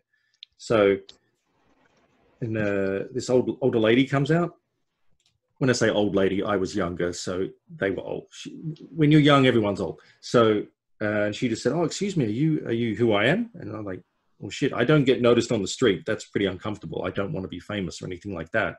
Yeah. I'm like, "Yes, I'm I'm who I am." She goes, "Oh, I just wanted to let you know that little girl that just went in the thing is like she loves your work and she's autistic. I think was autistic." And uh, reading her work helped her. It helped her to read, basically, and she, she wanted me to know it really meant a lot to her. So it's like, Oh Oh, wow. good. My, even my crappy work had some effect on someone, a positive one. So I was like, I can't save a life, but I can help um, a young girl learn to read. So That's awesome. she probably liked the colors or something, and it got her interested. I don't know. So, You know what work it was? Like which one? oh, she didn't have a specific thing in mind that she was telling me. Oh, what book? So Hmm. um. But yeah, yeah. It's like for her mother to come up and tell me in the street, it's like, one, I'm going to remember that in the first place because that's only happened a couple times. But it's like, oh, something actually meaning. I thought I was in trouble. I was like, what have I Wow. Done? Someone That random lady coming up to me. I'm sorry. Yeah, because apparently it meant a lot to her and it meant a lot to the daughter. So, That's so that was my best reaction probably ever to my work. That's cool. Do you guys do uh, research when you're uh, doing a book? like historical or Yeah, any research, depending on what the book is. oh yeah, there's tons. Like that was half the job getting started with Dodge was like I had to I had to consume as much kind of Vietnam material as I could. I watched the Ken Burns documentary. I read tons of books, and uh, just uh, wanted to get like as authentic as I could about some of the equipment and boats and different things like that. And I tried. I don't know. There's probably a million things that someone who knew what they were talking about could pick about that's wrong that I did. But um, you know, it is. I, I don't feel like I can do a job properly unless I'm, I'm kind of handling it with some sensitivity or, or some accuracy. But I have a lot of experience because I my early in my career I did a lot of books for Scholastic and for Rubicon Publishing, and they were all educational graphic novels. They were all like uh, you know English uh, as a second language, uh, you know reader assists or you know different subjects. And um, I did a lot of books like that. So uh, yeah, yeah. I mean, yeah. Sorry, just kind of had a zoned out there for a second. But um, Try to do no research. I was going somewhere with that and I forgot. Anyway, sorry. Well, think of what you had to do for Scholastic, the research wise. Oh, there was tons, yeah. So like, uh, there was books about different, you know, different wars and, you know, or just different weird things. Like, um, I'm trying to think of one in particular. There was, oh, there was a very famous South American mayor who like did this tremendous uh, um, work in the city that completely transformed, you know, the, the economy of the city, and the, it was all super ecologically minded. And I can't think of the fellow's name now. He, he died a few years ago. Um, but like it was an illustrated book about him. It's a shame I can't remember it now because I had to know it really sharply then because it was getting a lot of uh, had to go through lots of uh, levels of approval uh, before because it was all historical stuff. So there's lots of fact checking and that kind of stuff going on. So yeah, I did lots of books like that where research was almost as much as the drawing. You know. Man.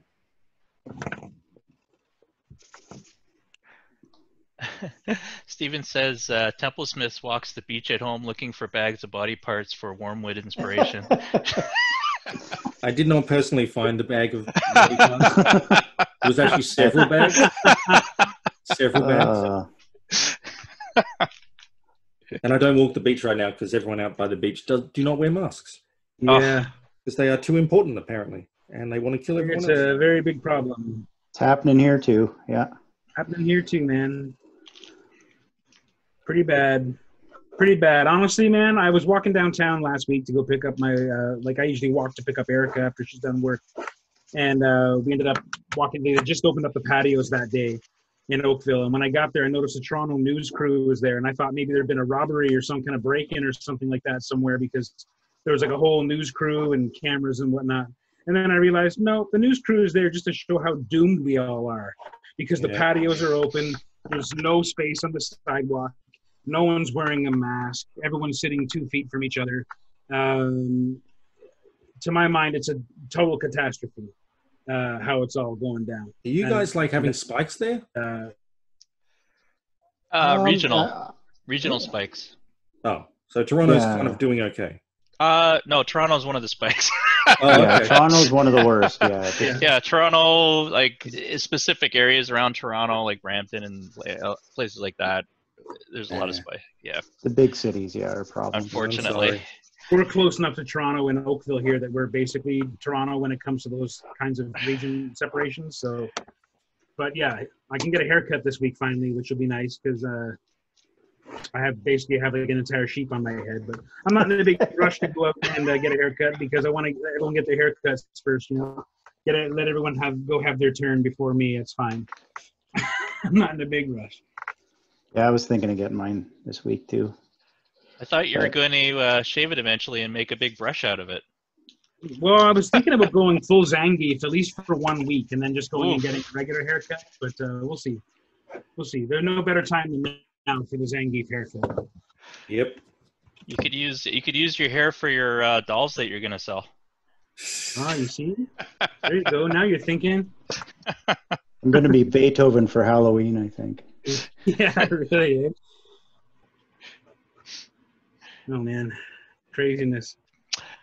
Uh, Julian wants to know uh, what is the best or the coolest monster to draw? Best or coolest monster to draw? Yeah, Hmm. And then it's you know defining monster, right? Like Speaking in general terms of monster, or that's all I got, man. It's a comment. that's all I got, man. The correct answer you can interpret is- it however you want. There is no best. There is only preferred. There's only right. best. How do you No, define it's not- cool? It's like if you said something the best, it would probably change the next day. So for me, drawing aliens like xenomorphs are always fun. Yeah, Oh, uh, like yeah. Geiger all type? the time. yeah, yeah. they're so difficult. Geiger or uh, like Mars Attacks?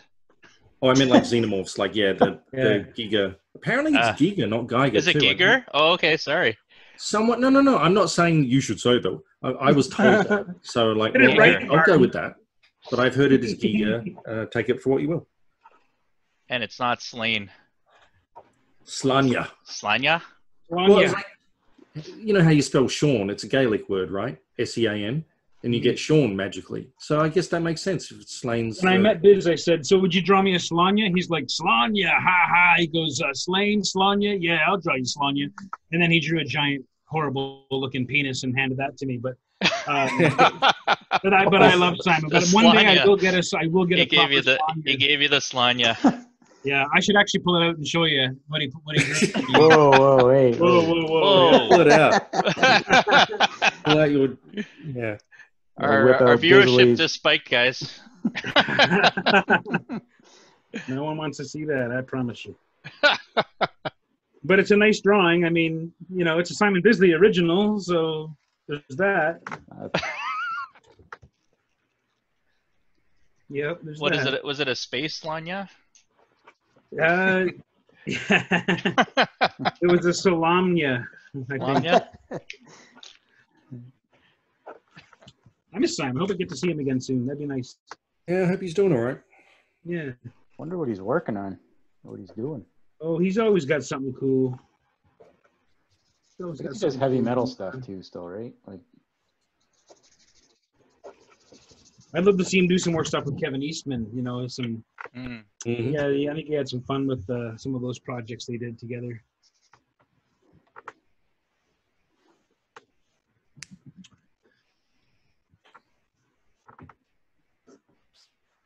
Oh, am I still on? Yeah, you guys are still there. All right. Yeah, it's Yeah. just still it's very faded. I'm gonna go in probably and have to re uh, reapply the black everywhere, but I just wanted to get a first kind of base coat down. Um, You can see it here. yeah, but it's really weird. The lights, the light in my apartment's really bad too. Like I got partial fading daylight and Oh, either I super strong lighting, which basically washes everything out, or uh, or no lighting at all, which is what I currently have. So that's just daylight that you got right now.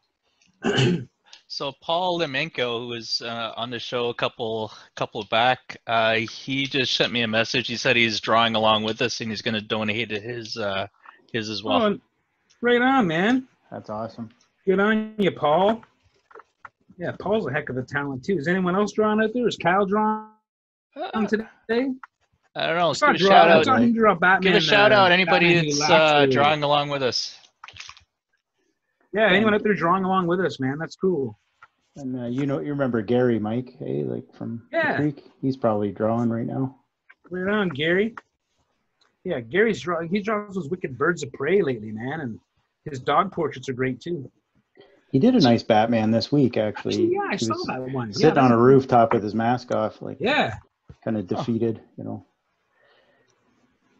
Hard to do a bad Batman. Let's be honest. Is Batman one of your go-tos when you're first starting to draw?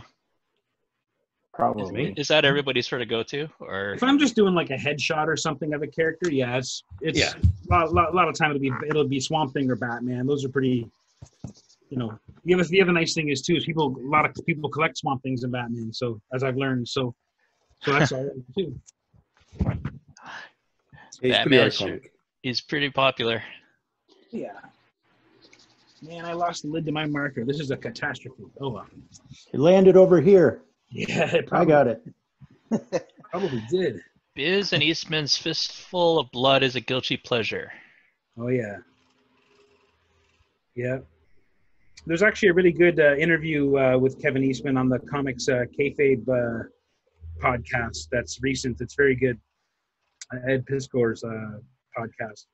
I listened to it for a bit. He talks a lot about uh, about you know working on the like he talked about the way the comic the the Turtles comics were drawn originally and how when they came out in graphic novel form, which is how a lot of people first first read them when they came out in color was that they actually had they look so different from the original books that were black and white because they actually used a thing called uh, a paper called Craftint which was a thing that you would uh, you would sketch on um, but it had some kind of like a hatching uh, kind of texture built into it that you'd expose by brushing on like a liquid of chemical like a kind of a chemical liquid uh, that would expose this kind of hatching in, in different degrees which would create the weird uh, texture. So if you look at the old turtles uh, you know the old turtles books the original turtles books that were black and white they had that kind of weird hatchiness. And he was talking about that, that paper and erica actually remembered working on uh, stuff like that before uh, in high school. Uh, i don't remember seeing it before but it'd be something like zip tone but instead of uh, rubbing it on you're actually revealing it with brush and liquid uh, it activates on the paper and reveals this kind of cross hatching tone with whatever Hmm. degree you want. So yeah that was kind of cool. And um, that's why the books look so different because before they actually did that hatch work with that Craftint they they photographed or scanned or photocopied all of the original inks just the line work so that they could preserve them when it came to colors they knew they'd be doing airbrush or whatever so it'd be nice clean and bright. Um anyway, i thought it was all interesting kind of stuff kind of art nerdy stuff but pretty cool Is that how they got their blue tints as well? Like yeah of that's how they got that kind of effect yeah that's that's the effect that i tried to get for my uh my Yeah. Ronin uh, cover, and that's that was actually cool to have a lot of old Turtles fans kind of say like, "Wow, it's cool that you went for that retro number three uh, Turtles book," which, you know, wasn't the original plan to be honest with you. It was going to be full color, but then right towards the end, we decided to give it a shot and got a really good response. So we went with the we went with that blue uh, Yeah, it was neat. retro Yeah. tone. That was a great, great cover. Oh, thanks, really, man. really great cover. The color and the, the mono. Thanks. Yeah. Well, everyone gets Both. a copy of the color print. That's my gift to everyone who supported us so far. I, I That's did the cool. full color version, and we're going to have a print available for everyone who purchased it from uh, bigcountrycomics.com. Here, I'll put it up real quick. Oh, thanks, man. You also yeah, have that uh, extinction uh, cover as well. Yeah, thanks, man. Yeah. I just actually did a something special with that today too. So um, Let me. that's let another. me- That's a Kickstarter. I'd love to support. Actually, uh, this one right here. yeah, yeah, that was fun. Yeah. That's kind of the main That's baddie the- in that book. It's a it's a cool book. It's about uh, It's our well, I Canadian don't want to I don't want to give it away, but the, the- it's got a great trailer and stuff. Um, you can check it out. But um, it takes place in uh, Prince Edward Island, so it's uh, got some nice Canadiana elements to it. And my friends out on the East Coast are gonna gonna love that. Oh, it looks great. Nice. Yeah, Kevin Stokes is the interior artist, and it was written by Stefan Nilsson, who's uh, part of Big Country Comics, but he's also a writer. He's a he was an editor at uh, AfterShock as well, but and uh, like a art direct, but kind of my art director there, and he uh, he also um, uh, is a writer. He wrote for DC. He's written. He's had a chance to write some of his favorite characters like Guy Gardner and you know Booster Gold and characters like that. So he's a pretty clever guy, and uh, yeah, it's a really neat comic. Yeah, this is great. I'm definitely in on this one. Thanks, man.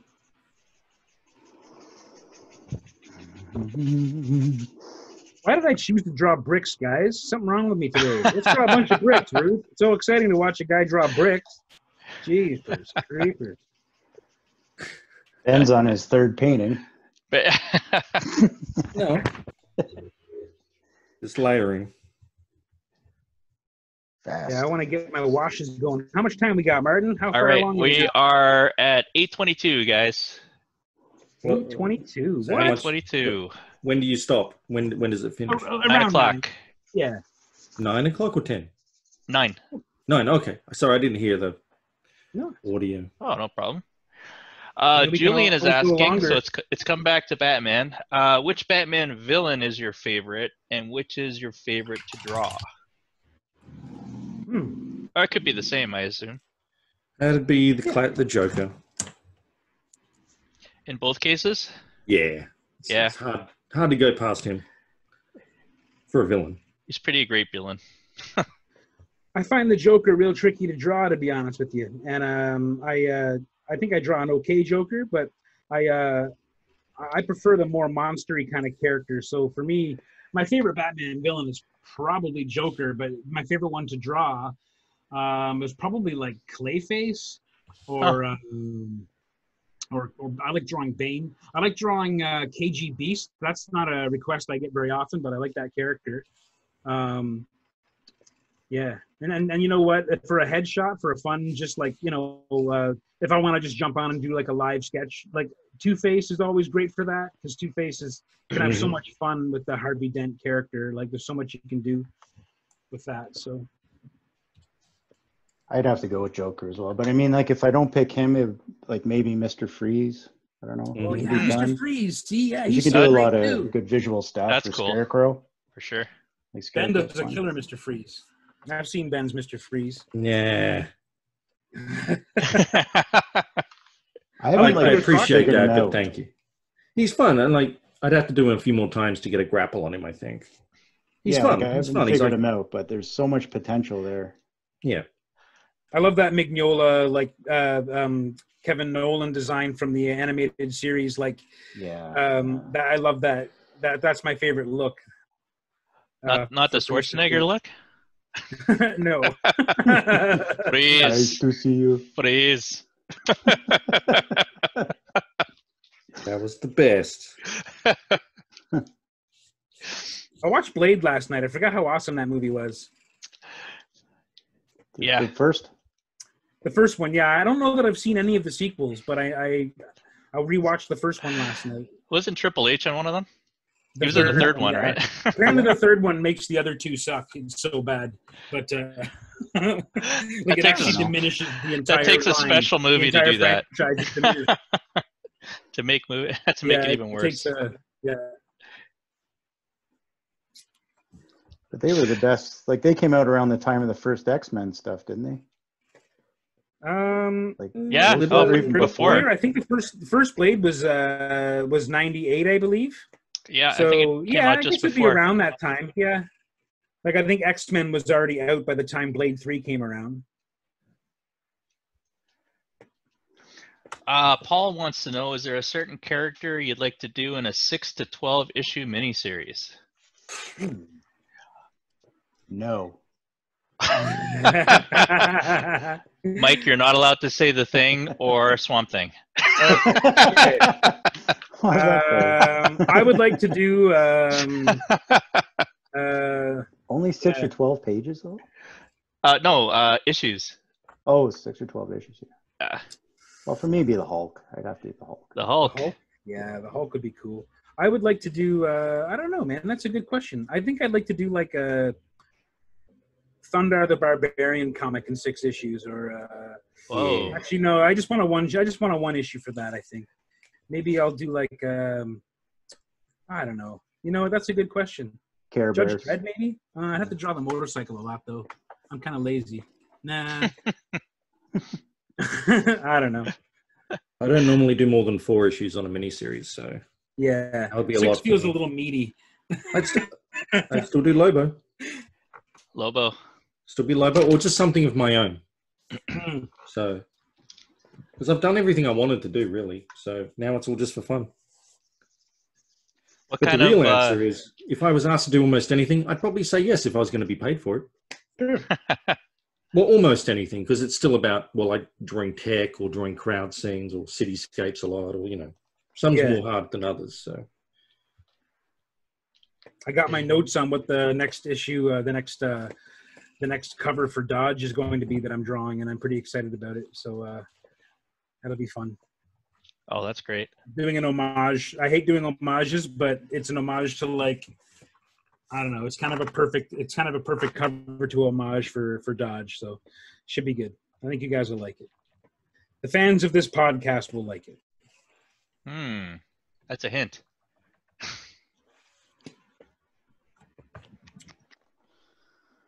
What to do? What to Oh, can I show off something for a sec that I'm kind of proud of? Yes. Oh, look at that though. Let's look at Ben's drawing for a minute. Good. no. I just spat on my work. Oh. I just got these in the mail. This is my uh Ah. this is uh Red Nails. This is my Cimmerian cover. Nice. Um I just got my comps in the mail from Big Country Comics and uh yeah. It's it's kind of cool to see a Conan thing even though it's not the Marvel Conan it's it's kind of cooler in a way because it's actually pulling from the Robert E. Howard stuff that was actually translated into French at the at Glenat Publishing and then brought back and translated back to English if for uh, for Ablaze uh, publication. So uh, yes, and this is also uh, if I could do a quick pitch, it's also available at Big Country Comics, where you can also find my Last Ronin cover. But uh, yeah, this just came in the mail today, and I've been waiting a long time for this because we had just got this in kind of when the pandemic broke out, so we didn't know if it was even going to happen. So it was pretty cool to finally see it physically in my hands. That's that's awesome, man. Actually, I'll I'll put the uh, the site up very quick. You're living the dream, Mike. There you are. It felt Never like done it a drawn Conan. Conan. Look, man. there's actually a Mike Rooth uh, tab here. There you are. Oh, there is. Look at that. Yeah. That's cool. Oh, you sold out. Some, you I got a sold out your of stuff up pestilence. there. There you are. Red nails. Yeah, there it is. And I do apologize. The shipping is so high, but I promise you that is it's just Canada, man. That's just shipping in Canada. It's a nightmare, and uh, it's a nightmare even to send it amongst our own people here in this country. So it's uh, it's just an unfortunate thing. If you want the comic to get there with any kind of guarantee of uh, of uh, you know insurance and safety, then you know it's just the only option. Unfortunately, the high cost of shipping. Um, a lot of these were going to be only available at conventions. That was the plan. The whole tour was canceled, of course, because of COVID. But that was the plan. That that this book was specifically created to be a conventions only uh, uh, purchase. So um, kind of unfortunate, but you can get it on the website. So uh, Now it's a COVID only. Yeah, pandemic special. pandemic special, exactly. I mean, it's a it's a it's a time in history, so you may as well make it like, oh yeah, this was the uh, the thing Yeah. for that thing. Yeah, it influenced. It's It true. influence you, It's for true. sure. Yeah. Yeah. Very curious when we look back five years from now. Yeah. Hopefully, it's over. Yeah. Uh, it won't be unless we have a vaccine, I think. hmm Yeah. Oh, hey, Eric up. chimed in, saying good evening, gentlemen. Ah, he's awake. He's awake. Eric, what up, Eric? Thanks for joining us. You should be on the Uh, show though. Dalton says, uh, Mike, that's crazy. Whoa, mama. You're liking your cover. Whoa, mama. Oh, mama. I could be Oh, pronouncing that wrong. There's your reaction from earlier that you wanted. There you are. There highlight. is, yeah. the COVID highlight moment. Oh, mama. So, uh, what's the first thing you guys are going to do when this is over? Anything you're really missing or jonesing for at this point? Just want to see people. a people. proper visit with my family. A proper visit with my family where I get to like actually, you know, hug my mom and dad, um, visit my grandmother. That's definitely coming up very, very, uh, very soon. I hope. I hope Mhm. that day can come. Uh, that kind of stuff, you know, the real, the real important stuff that we can have.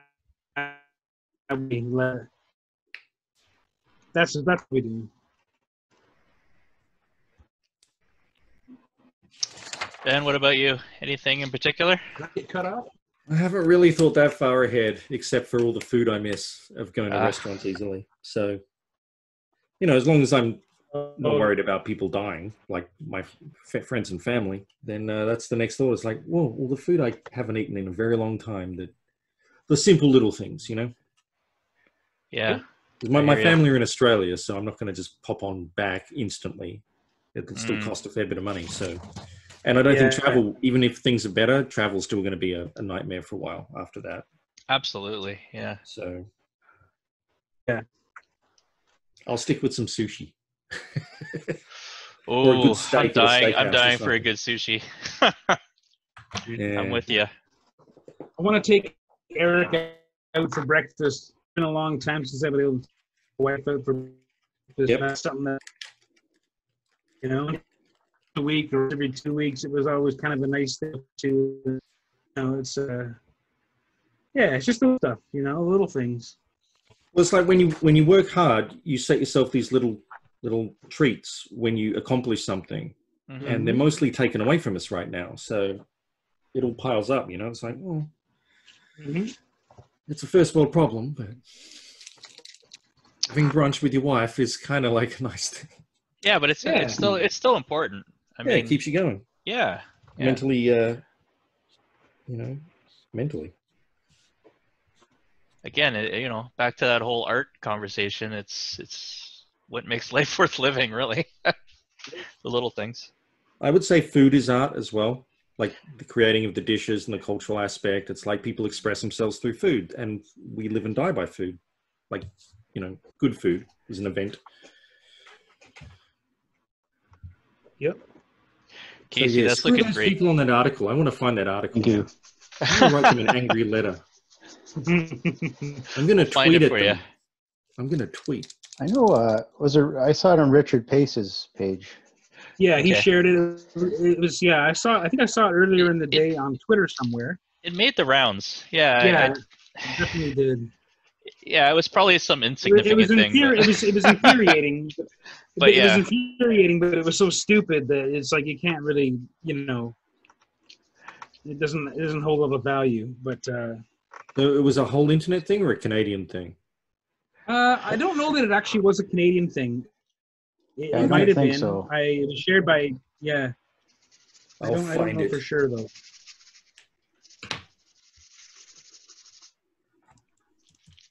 We'll do a whole show on it. Just You should. get It's angry. philo- it's a philosophical question. We'll just get angry at it. Why the world is wrong. Yes. So I wanted to ask our viewers a question, actually, if anyone Okay. is listening. Turning the How tables. would you, how would you, uh, how would you feel? What are your thoughts on uh, doing a week where we do a Sketchlemania where we each either pick all the same thing or pick different uh, other creators that we're going to support?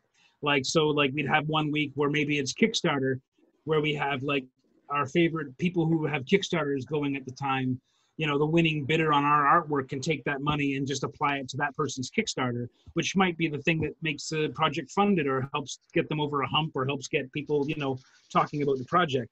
Um, I don't know that it was the right tone uh, right now, but I just wondered if it was something that people would be interested in doing. Um, you know, we ba- basically each championed a different a different creator's uh, project because creators have been giving a lot, I think, during this time. Just further to that article discussion, and I think that you know it's a small way of maybe maybe giving some back to the creators. You know, or does that sound weird? I think it's great. Anyway, that's a question. and That's a listen, hey. I'll, any any way I could help, Mike, I'll do it for sure. I We'll make it happen. weird. We'll make it happen. It's I also wanna- weird. I'm gonna buy buy Mike a pair of clippers.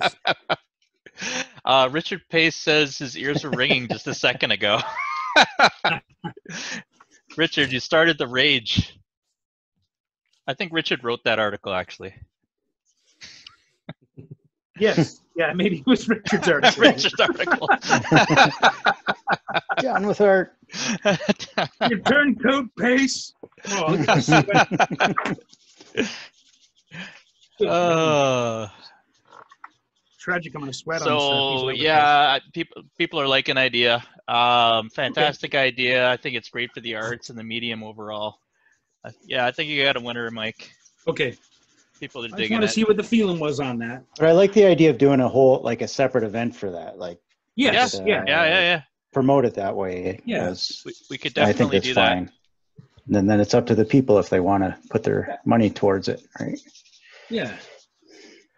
Yeah, I'm down. I'm down to Okay. do one. We could even call it something different if you want. No, no, we can. You know, I don't, we can still have the same. Whatever. Yeah, we'll figure it out, man. I'm easy. Yeah. Well, uh, we'll announce it soon. Yeah. We have the next. Uh, we have the next one lined up already, but we'll we'll announce that very soon as well. It's going to be It's very not far huge. off from doing that, uh, like creators, you know, like comics for creators and all that that we were doing, like helping the stores. It's not that different, right? Yeah, exactly. It's just, it's just, a, uh, you know, like it's tough, man. Like doing a Kickstarter is tough, and not everyone, you know. I, I was very lucky. I had a very successful one, you know, for Dodge, the recent one, and uh, you know, it's uh, it's there's, it's not an easy thing. Like it's not an easy thing to do and to fulfill and to go through. And you got, you know, this Casey just from, Mhm. you know, from from Cauldron, and Ben knows this for sure from the great success he's had at his Kickstarters as well. So it's a, it's a big job. It's a full time job. And Sure. Those are real. Another story on that, man. what's that? you know, I have a whole nother story on that. oh yeah, I do. Yeah. Yeah. make sure if you do a Kickstarter, make sure the money goes to your bank account if your name's on the Kickstarter. But, uh, Oh dear. Okay. Yeah. yeah. business partner. Hmm. I was left in a lot of debt, and I'm still figuring that one out. So Oh, that's the worst. Kickstarters are great, just so long as you know you Yeah, get the as long money. as everyone's, you know, Usually. on the level. Yeah. Yeah. It's the spirit of the Kickstarter. Mhm. That was a Uh, special level of scumbaggery that went down though. Oh yeah. Yeah. Yeah, it was. Uh, um, um, I won't go into the whole thing, but I used to be part of a thing called 44 Flood. Well, we we all were, and uh, the other. Oh yeah. I'm not. Yeah, it is what it is. I should have. I was should have been less trusting, but uh, we shouldn't have done the Kickstarter using my account, even though it was my project. But uh, yeah, in the end, the money ran out long before we came to shipping the book. So we're doing a lot of the rewards. So I had to foot the bill myself, and I'm still footing the bill. So you don't really recover from good. seventy, somewhere between seventy and ninety thousand dollars all up. So Oh. That's inc- oh yeah, it's taken years, man. I'm, I'm a little Oh. bit. I've only got a little bit left to go, I think, and then I can just going to re- refund the last couple of hundred people. I think it is. And there is no way to do legal action. Like I mean, I, that's I a big amount. you'd have to get an accountant and be legal, and like that's going to cost me even more money, and I'm I don't have it. So Yeah. he left. Yeah. He made sure he left the company before I realized uh, what a shithole I was in. Yeah. because we were just Yeah. happy he was gone at that point because he'd made it so tough to deal with anything. So, but you know that was when the bank account was dry, and I never realized that until too late. So, oh well. Yeah, the legal thing. learn. My name's on the thing. I'm responsible, so I got to wear it. The legal thing is very tricky. Um, I- I mean, I I, I won I won something a while back, and Mhm. there's one thing to win something, but then there's another thing to actually collect the money Collect. afterwards on top Yeah. of it. I could never collect the money. Like he's not going to have the money. The, the problem was how he treated money. You just have to Yeah. be careful who you go in business with. That's the end. At the end of the day. Yeah, that's fair. I do like this idea. I, I, I even think um, it would be pretty cool to have some of the creators on if they want to come on and chat about it for a little bit. Yeah, absolutely. The show's evolving, guys. It's always evolving. Yeah, it is. It's good. I mean, I'm, I'm glad we're getting the. I'm grateful to everyone who's listening right now and everyone who comes back every week. Like it's, it's great. You know, um, it's awesome. I, I think I do need to take a break. Unfortunately, in in July uh, for a few episodes, just because I have uh, I got a couple of projects that are gonna keep me hopping, and um, evening seem to be the coolest. I'm finding it really difficult to work in the heat and uh, so I'm doing a lot of the hands-on inking and drawing at night, where it's a little bit cooler, because it's a it's a pretty major factor, and you know it's a yeah Yeah, you got to work when you can. No, yeah it's just a tough time to work in the heat. I'm not I'm not built for the heat. Well, we're we're screwed because I, I used to live in an apartment in New York with no air conditioning, but I could still go to the Starbucks or something down the street to get some relief. But you can't do that right now, Nope. really. So you They're just starting, I think, like malls Yeah, and not things are just starting now, to open yeah. up. Yeah. But but yeah, even now, like you have to line up Yeah. outside. But I'm not the time. I, well, I'm, I don't know that I'm I'm ready. I don't know that I'm there yet. Frankly, like even if everything opened up tomorrow, like full full Yeah. blast, I I'm definitely not there. Uh, Yeah. Where I'm at in my head, and you know with personal space these days. So uh, yeah, sucks. um, I hope I get back. I actually cracked the other day and got an Uber Eats for a, Yeah. a Frappuccino. and it was glorious. Uh oh, I think we lost Mike. Oh, yeah, Oh, he's no. getting This choppy, but is Wow. he might be trying to reconnect. I think he's playing mind games. Oh, he's coming back. Oh, Oh, you back? There you are. did I get cut out? Yeah, you cut out. Oh, sorry. Oh, It's a little choppy, but It'd be great Uh, to see was- Shane Amato uh, again. so- yes, yes, we'll have to bring Shane back for sure. Yeah. is he watching or no? He's not. He probably is. He's probably just uh He's still been working a lot through this whole thing. Yeah. Yeah. But Ben, it's great you could join us this time around for sure. Oh, thanks for having me, man. I'm just trying to figure Yeah. out because this is this is a mirror of what this actually is. I'm trying to flip my damn camera. Oh I think, yeah. I think it is just for you. I think it is for you, but I think we Yeah, can see it properly. Wait, he's really right-handed. With my left hand, right? You can see. Like, yeah, that messed me up too the first time. left uh, hand, right? Yeah, I'm Yep. trying to. So I just hope it looks good mirrored as well. Anyway, so.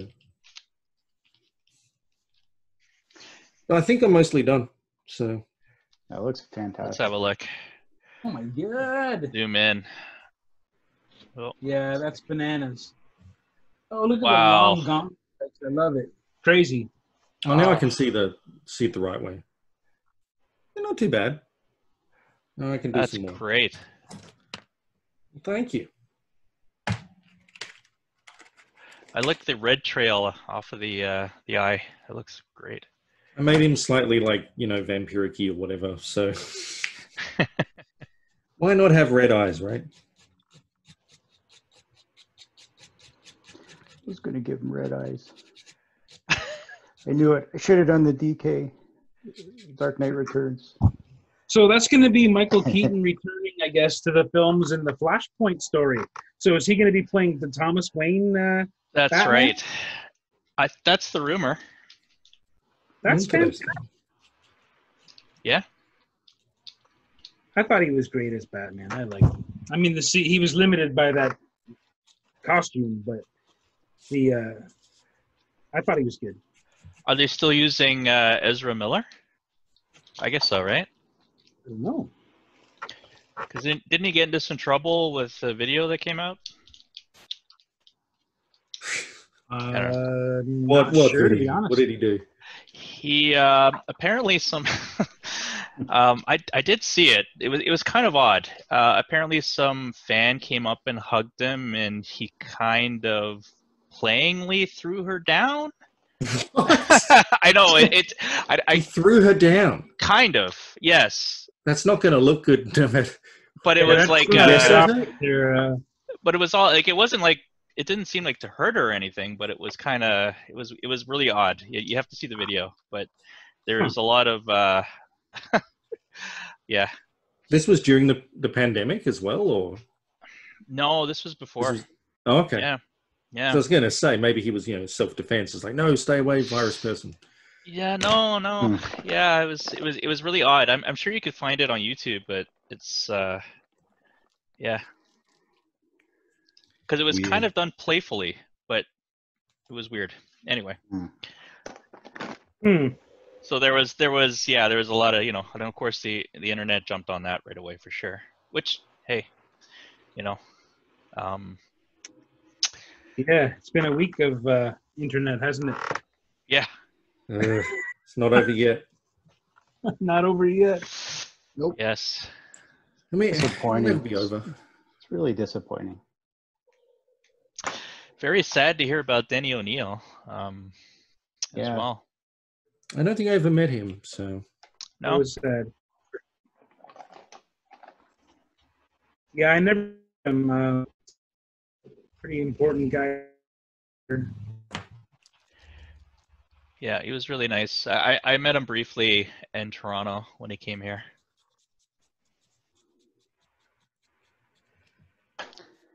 Yeah, he was a guest of honor a couple years ago, I think. Yeah, yeah. I was very happy that I got to meet Will Eisner two times before uh, he passed away. Wow. So Oh wow! Wow, I that's wish I cool, met man. him. I, I don't know how I rigged it or it happened, but I got to do a panel with him for some strange reason. He was sat next to me. Yeah, he spilt water on me. He he uh, he knocked he knocked the, the, the glass of water right on my lap. it was not a problem. I'm not complaining. It was a memory. It's like yeah, I said Will Eisner uh, threw it, spilt the drink on me. Go Eisner. But that guy was a class act. So yeah as far as I know, he was great. Oh yeah. Feel like oh i I- like the moon there uh mike that's cool Oh, I'm trying something else. I'm not sure that I'm gonna go with a different material, but uh, thank you. I like We'll the see how it glinting, goes. the glinting, the the highlight. I'm no good at that. You're good.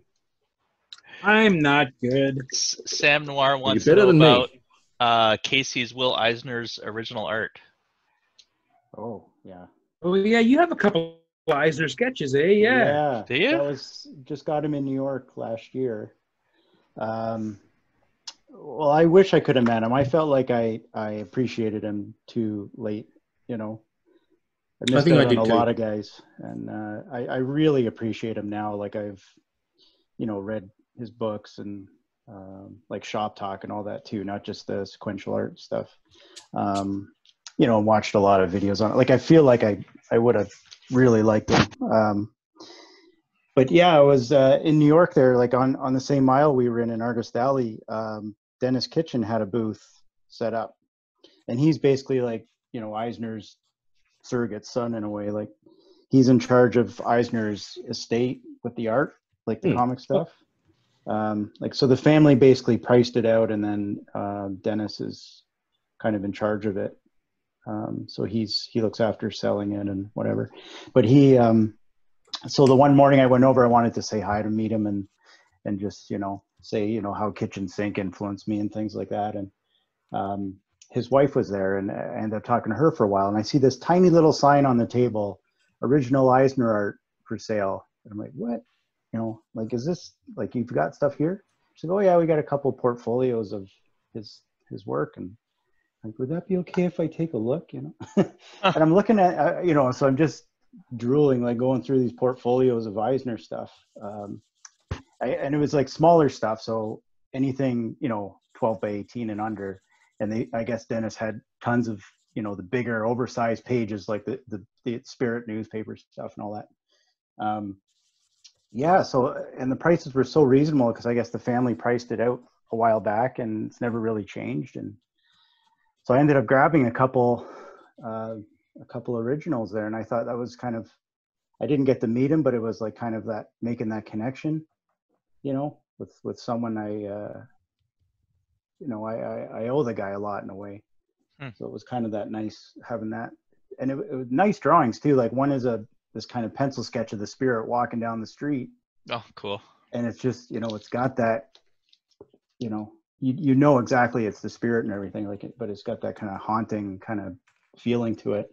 And another one is a, a page of just inked uh, characters making all different gestures, like these these paired off people making gestures to each other. It was, I guess, for That's one of his classes or something. It was, yeah, just a couple really nice pieces, and then, uh, yeah, what it, like just incredible, like to have something like that. Yeah, a couple of prized possessions. For sure. That was like uh, when I met Bernie Wrightson. Yes, met him Yeah. too, like that. Yeah, same kind of thing. I I, don't have uh, any originals, but yeah. I actually have. Uh, I went to his table. He was the nicest guy. Um, I wanted him to do a commission, but I guess he wasn't doing them at that point. But um, he did have some of his work there, and I and I flipped through it. And I'm actually a big Stephen King fan as well. And uh, he had some of his warm-up sketches for some of the illustrations he did on the uh, the Dark Tower boy. series.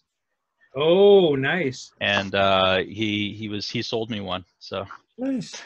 Do you remember the crazy uh, drawings he did for the? Um, it was the I think the graphic novel version of uh, Silver Bullet, the movie. I think it was called. oh like, yeah yeah yeah yeah.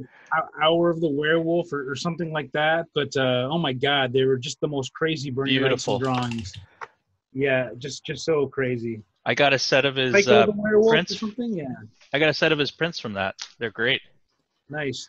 I remember having Bernie Wrightson uh, cards, that art card set. I had uh, I had a bunch of those. I think I tried to get to get you to go meet him too, Mike. Do you remember that? Yeah, I think you were. You and I got a, you that uh, Swamp Thing print, right? Yeah, well, you had a Swamp Thing print, and I was like, "Whoa, where'd you get that?" And you're like, "Oh yeah, I got it over there." I'm like, "Who's selling Bernie Wrightson stuff?" And you were like, "Bernie Wrightson." And I was like, "What? He was so have just some right? guy ripping him off. Go, go tell yeah. him. And over- I ran over to the table, and he had already torn down for the day. And I was like, "Oh, he's back tomorrow, though. That's okay." And then, like the next day, I went to go see him, and he had already he was gone for the weekend. Uh, so it was just like I had missed him. So it was a real shame. Yeah. It's so hard to get away from the table and stuff too, like that. Like, It is, yeah. But that And usually means hidden. that's usually for a good reason. That's usually if you're busy. yeah, You know, I, I always lament that I don't get to visit my friends because I'm usually like, you know, drawn the whole time. But like, it's uh, you know, that Yeah. that's that's why you're that's why I'm there. You know, it's uh, unfortunately that's that's the main reason I'm there is to work and the work gets done at the table. So yeah, yeah. Guys, do you mind if I show uh, Paul's really quick? He'd finished his up. Oh yeah, I got to see. He's finished. yeah, Yeah. Here. Oh my Wow. god. Oh, what? That's crazy, dude. Wow, Paul. Holy moly. Yeah, he wicked. wins. Yeah. Wow. I guess Paul wins. I guess that's it. 11 by, it's, a, it's on an 11 by 17 as well. Oh, damn. Jeez. How dare you, Paul? Sorry, that's great. So we'll have this one up for auction as well. jeez. I should add, by the way, I normally work relatively small. So I, I actually work American letter size or like A4 ish for most of Yep. my, my pages and whatnot. So that's the size I normally work at. So that's what this is. Wow. 11 by 17 usually end up taking me a lot, lot longer. So, plus I'm Great not used to piece. the perspective thing. So things just turn out better when I work on my normal size. So that's why this one's a little small. It's not, it's just normal for me. Do you do that for comic pages as well? Like Yeah. like with that size? Yeah. That's that's where it first started, and I'm like, oh, this is much easier and manageable, and I can get stuff done quickly. So, and then I learned like Charlie Adlard for the Wa- did does it for The Walking Dead. So I was like, oh yeah, working small has its ah. benefits if, if you can still make it look relevant enough. I mean, I don't think I realized you work small. That's cool. well, the reason people do it big is so that when you shrink it down a bit, it tightens up and Yeah. you know, looks more detailed. So if you can try and if it works anyway, you know, you don't have to. In theory. Yeah. I'm not saying I'm good. I'm just saying what I do. I know Spiegelman when he did Maus, he worked like the the size that the book is. Like he wanted Hmm. it to be as intimate and close to the reader as he could get, and he made it Right. did his work that size. Hmm. I always thought that was kind of a neat idea. Like, I always like working larger just because I don't think my eyes are what they used to be, and I, I find like uh, you know I like to be able to work at a comfortable size, especially when drawing lots of things. Like that turtles cover that I did has like 30 characters on it, and they get smaller and smaller. So I- wanted to be able to have the smallest one still, but be able to draw them without having to use a magnifying glass. You know, because I like to ink everything by hand. You know, at the end of the day, I like to make all my original art for covers. Uh, is uh, is always you know it's always ink on paper so um, i might pencil it digitally just to get to that you know to get to that stage um, but yeah anyway blah blah blah blah blah Here, I'll show my crappy one really quick. oh, you drew one good. Yeah, some Jean-Paul Valley, Nice. Oh, nice. Azrael. From a I can't see it for some reason. Why Oh, sorry. Am I not on gallery view? There, Oh, it's nice. better. Oh yeah. There we are. That's good, man. I always kind of dug his. I mean, it's very '90s, but I always dug his uh, his outfit. It's kind of cool. yeah it was a pretty violent batman uh, uh, pretty crazy storyline i um i love the costume design actually it's just so crazy Yeah, like, i'd like to see it done properly in the film one day you know what time are we at now are we out of time Uh, we're actually three minutes in, uh, or sorry, three minutes to the nine. Um, Oh, so we should probably do a little bit of a spotlight on each of the. Uh... I think I should fake some effects like that. I'm gonna eventually do. I just got other stuff lying around. Sorry. sci- All right. Um, you want to show yours, or Casey? No. No. Looks good. Too bad. upside It's down. going. Casey, flip it. Yeah, I mean, I'm gonna do things to it. I'm gonna Oh, give nice. him the red eyes. Good, man. Oh, the Right light on. is crazy. Hang on. Very cool. See if I can. Uh, this might make a difference. What was the No, maybe Elseworlds with him? Blood Rain or something. Blood Is that Rain. Yes, I think that was it. Well, there was yeah, like the trilogy that Kelly Jones did, where he was a vampire. Oh yeah, Kelly were fun. Jones's Batman is so definitive, man. That was uh, Yeah, You it made no sense, but it was great. Yeah, and anatomy made no sense, but it was just so crazy. He had like ten thousand abs and it just just obscene, obscenely hugely muscled. But I, I loved it. It was so good. Yeah. Really cool. All right. All right, Mike, what you got? Wow. Yeah, you win. No, I don't win. That's ridiculous. I'm sorry. It's so wild on that red paper. It was best. Yeah. Yeah, it'll, Yeah, it'll your be color works. We all boosted up black. I'm gonna go over black everything again with uh, with a brush, but uh, And uh, you're seeing a weird shadow on the moon there, but it's going to be a solid white moon and just a bit of white highlight on them, and that's it. So uh, yeah, and it's That's 11 by awesome, man. 17 on uh, red paper. So I'll post the popper scan when we're all done. There's not enough bricks. Yeah, I probably need some more More bricks. bricks. The, come on, Mike. Where's the rest of the city? What's going on? I'm so lazy though. guys. I'm super lazy. All right, and uh, Ben, Big Ben Templesmith. Yeah, Wow, that, that's just so crazy. that's beautiful. I hope it's alright. the cover. Can't really see that Yeah, there's some texture on it, so it's like Oh, it's not really in focus. But I think you got a future in comics. I do. uh, I did at one point, man. I did at one point. you're so naturally talented. What comics are you drawing these days? Can you talk about any of them, Ben? Do you have anything you're working on that's like Um, your own that you can talk about yet, or? Uh... I'm just working on um, W- Wormwood Gentleman Corpse, which is my creator-owned book. Nice. Yeah. Uh, everything I've been doing is just been doing on my Patreon, but I haven't really put them out outside of that yet. So I have a bunch of finished things that I've yet to put out. So, but they all go through the Patreon, so people there have been seeing stuff and Awesome. about So to get they some stuff printed up. do they usually go to Patreon first and then they get released, or like is there sort of a Uh, timed ideally- exclusive there? Well, ideally, the theory is uh, my Patreon is where people watch me make the book. Mm, Uh, they'll get a they'll get a digital copy no matter what, and if they've backed me at enough or want to buy it later on at a discount, they get to, to buy a physical copy if I can make a physical copy of whatever I'm doing. Uh, and then ideally, if I can write the ship on the old Kickstarter, I can um, crowdfund a collection of that, which is still only a small run because they're very small runs on the Patreon. They're like 100, maximum 500 copies, and then uh, then see if uh, someone in the direct market wants to wants to print it.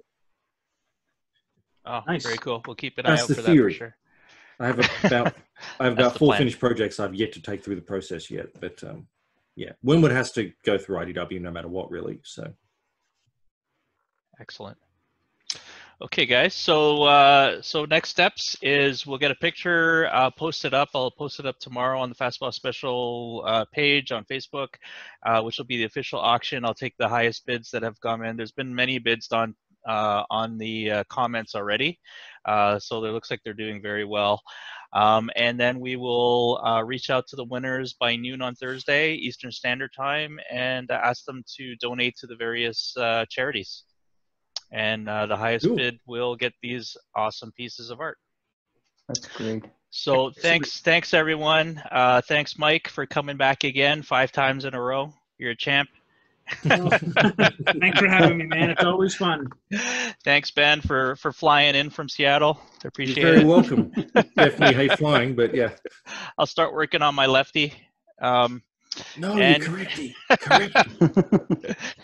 and Casey, thank you again. Hey, thanks for having me again. It was Thanks. great. Thanks all. Thanks Paul for also donating his piece, Yeah. and all the folks that are also drawing. I think Julian mentioned he was drawing as well. Uh, so Right post your drawings up, man, and, and we'll put them on the site.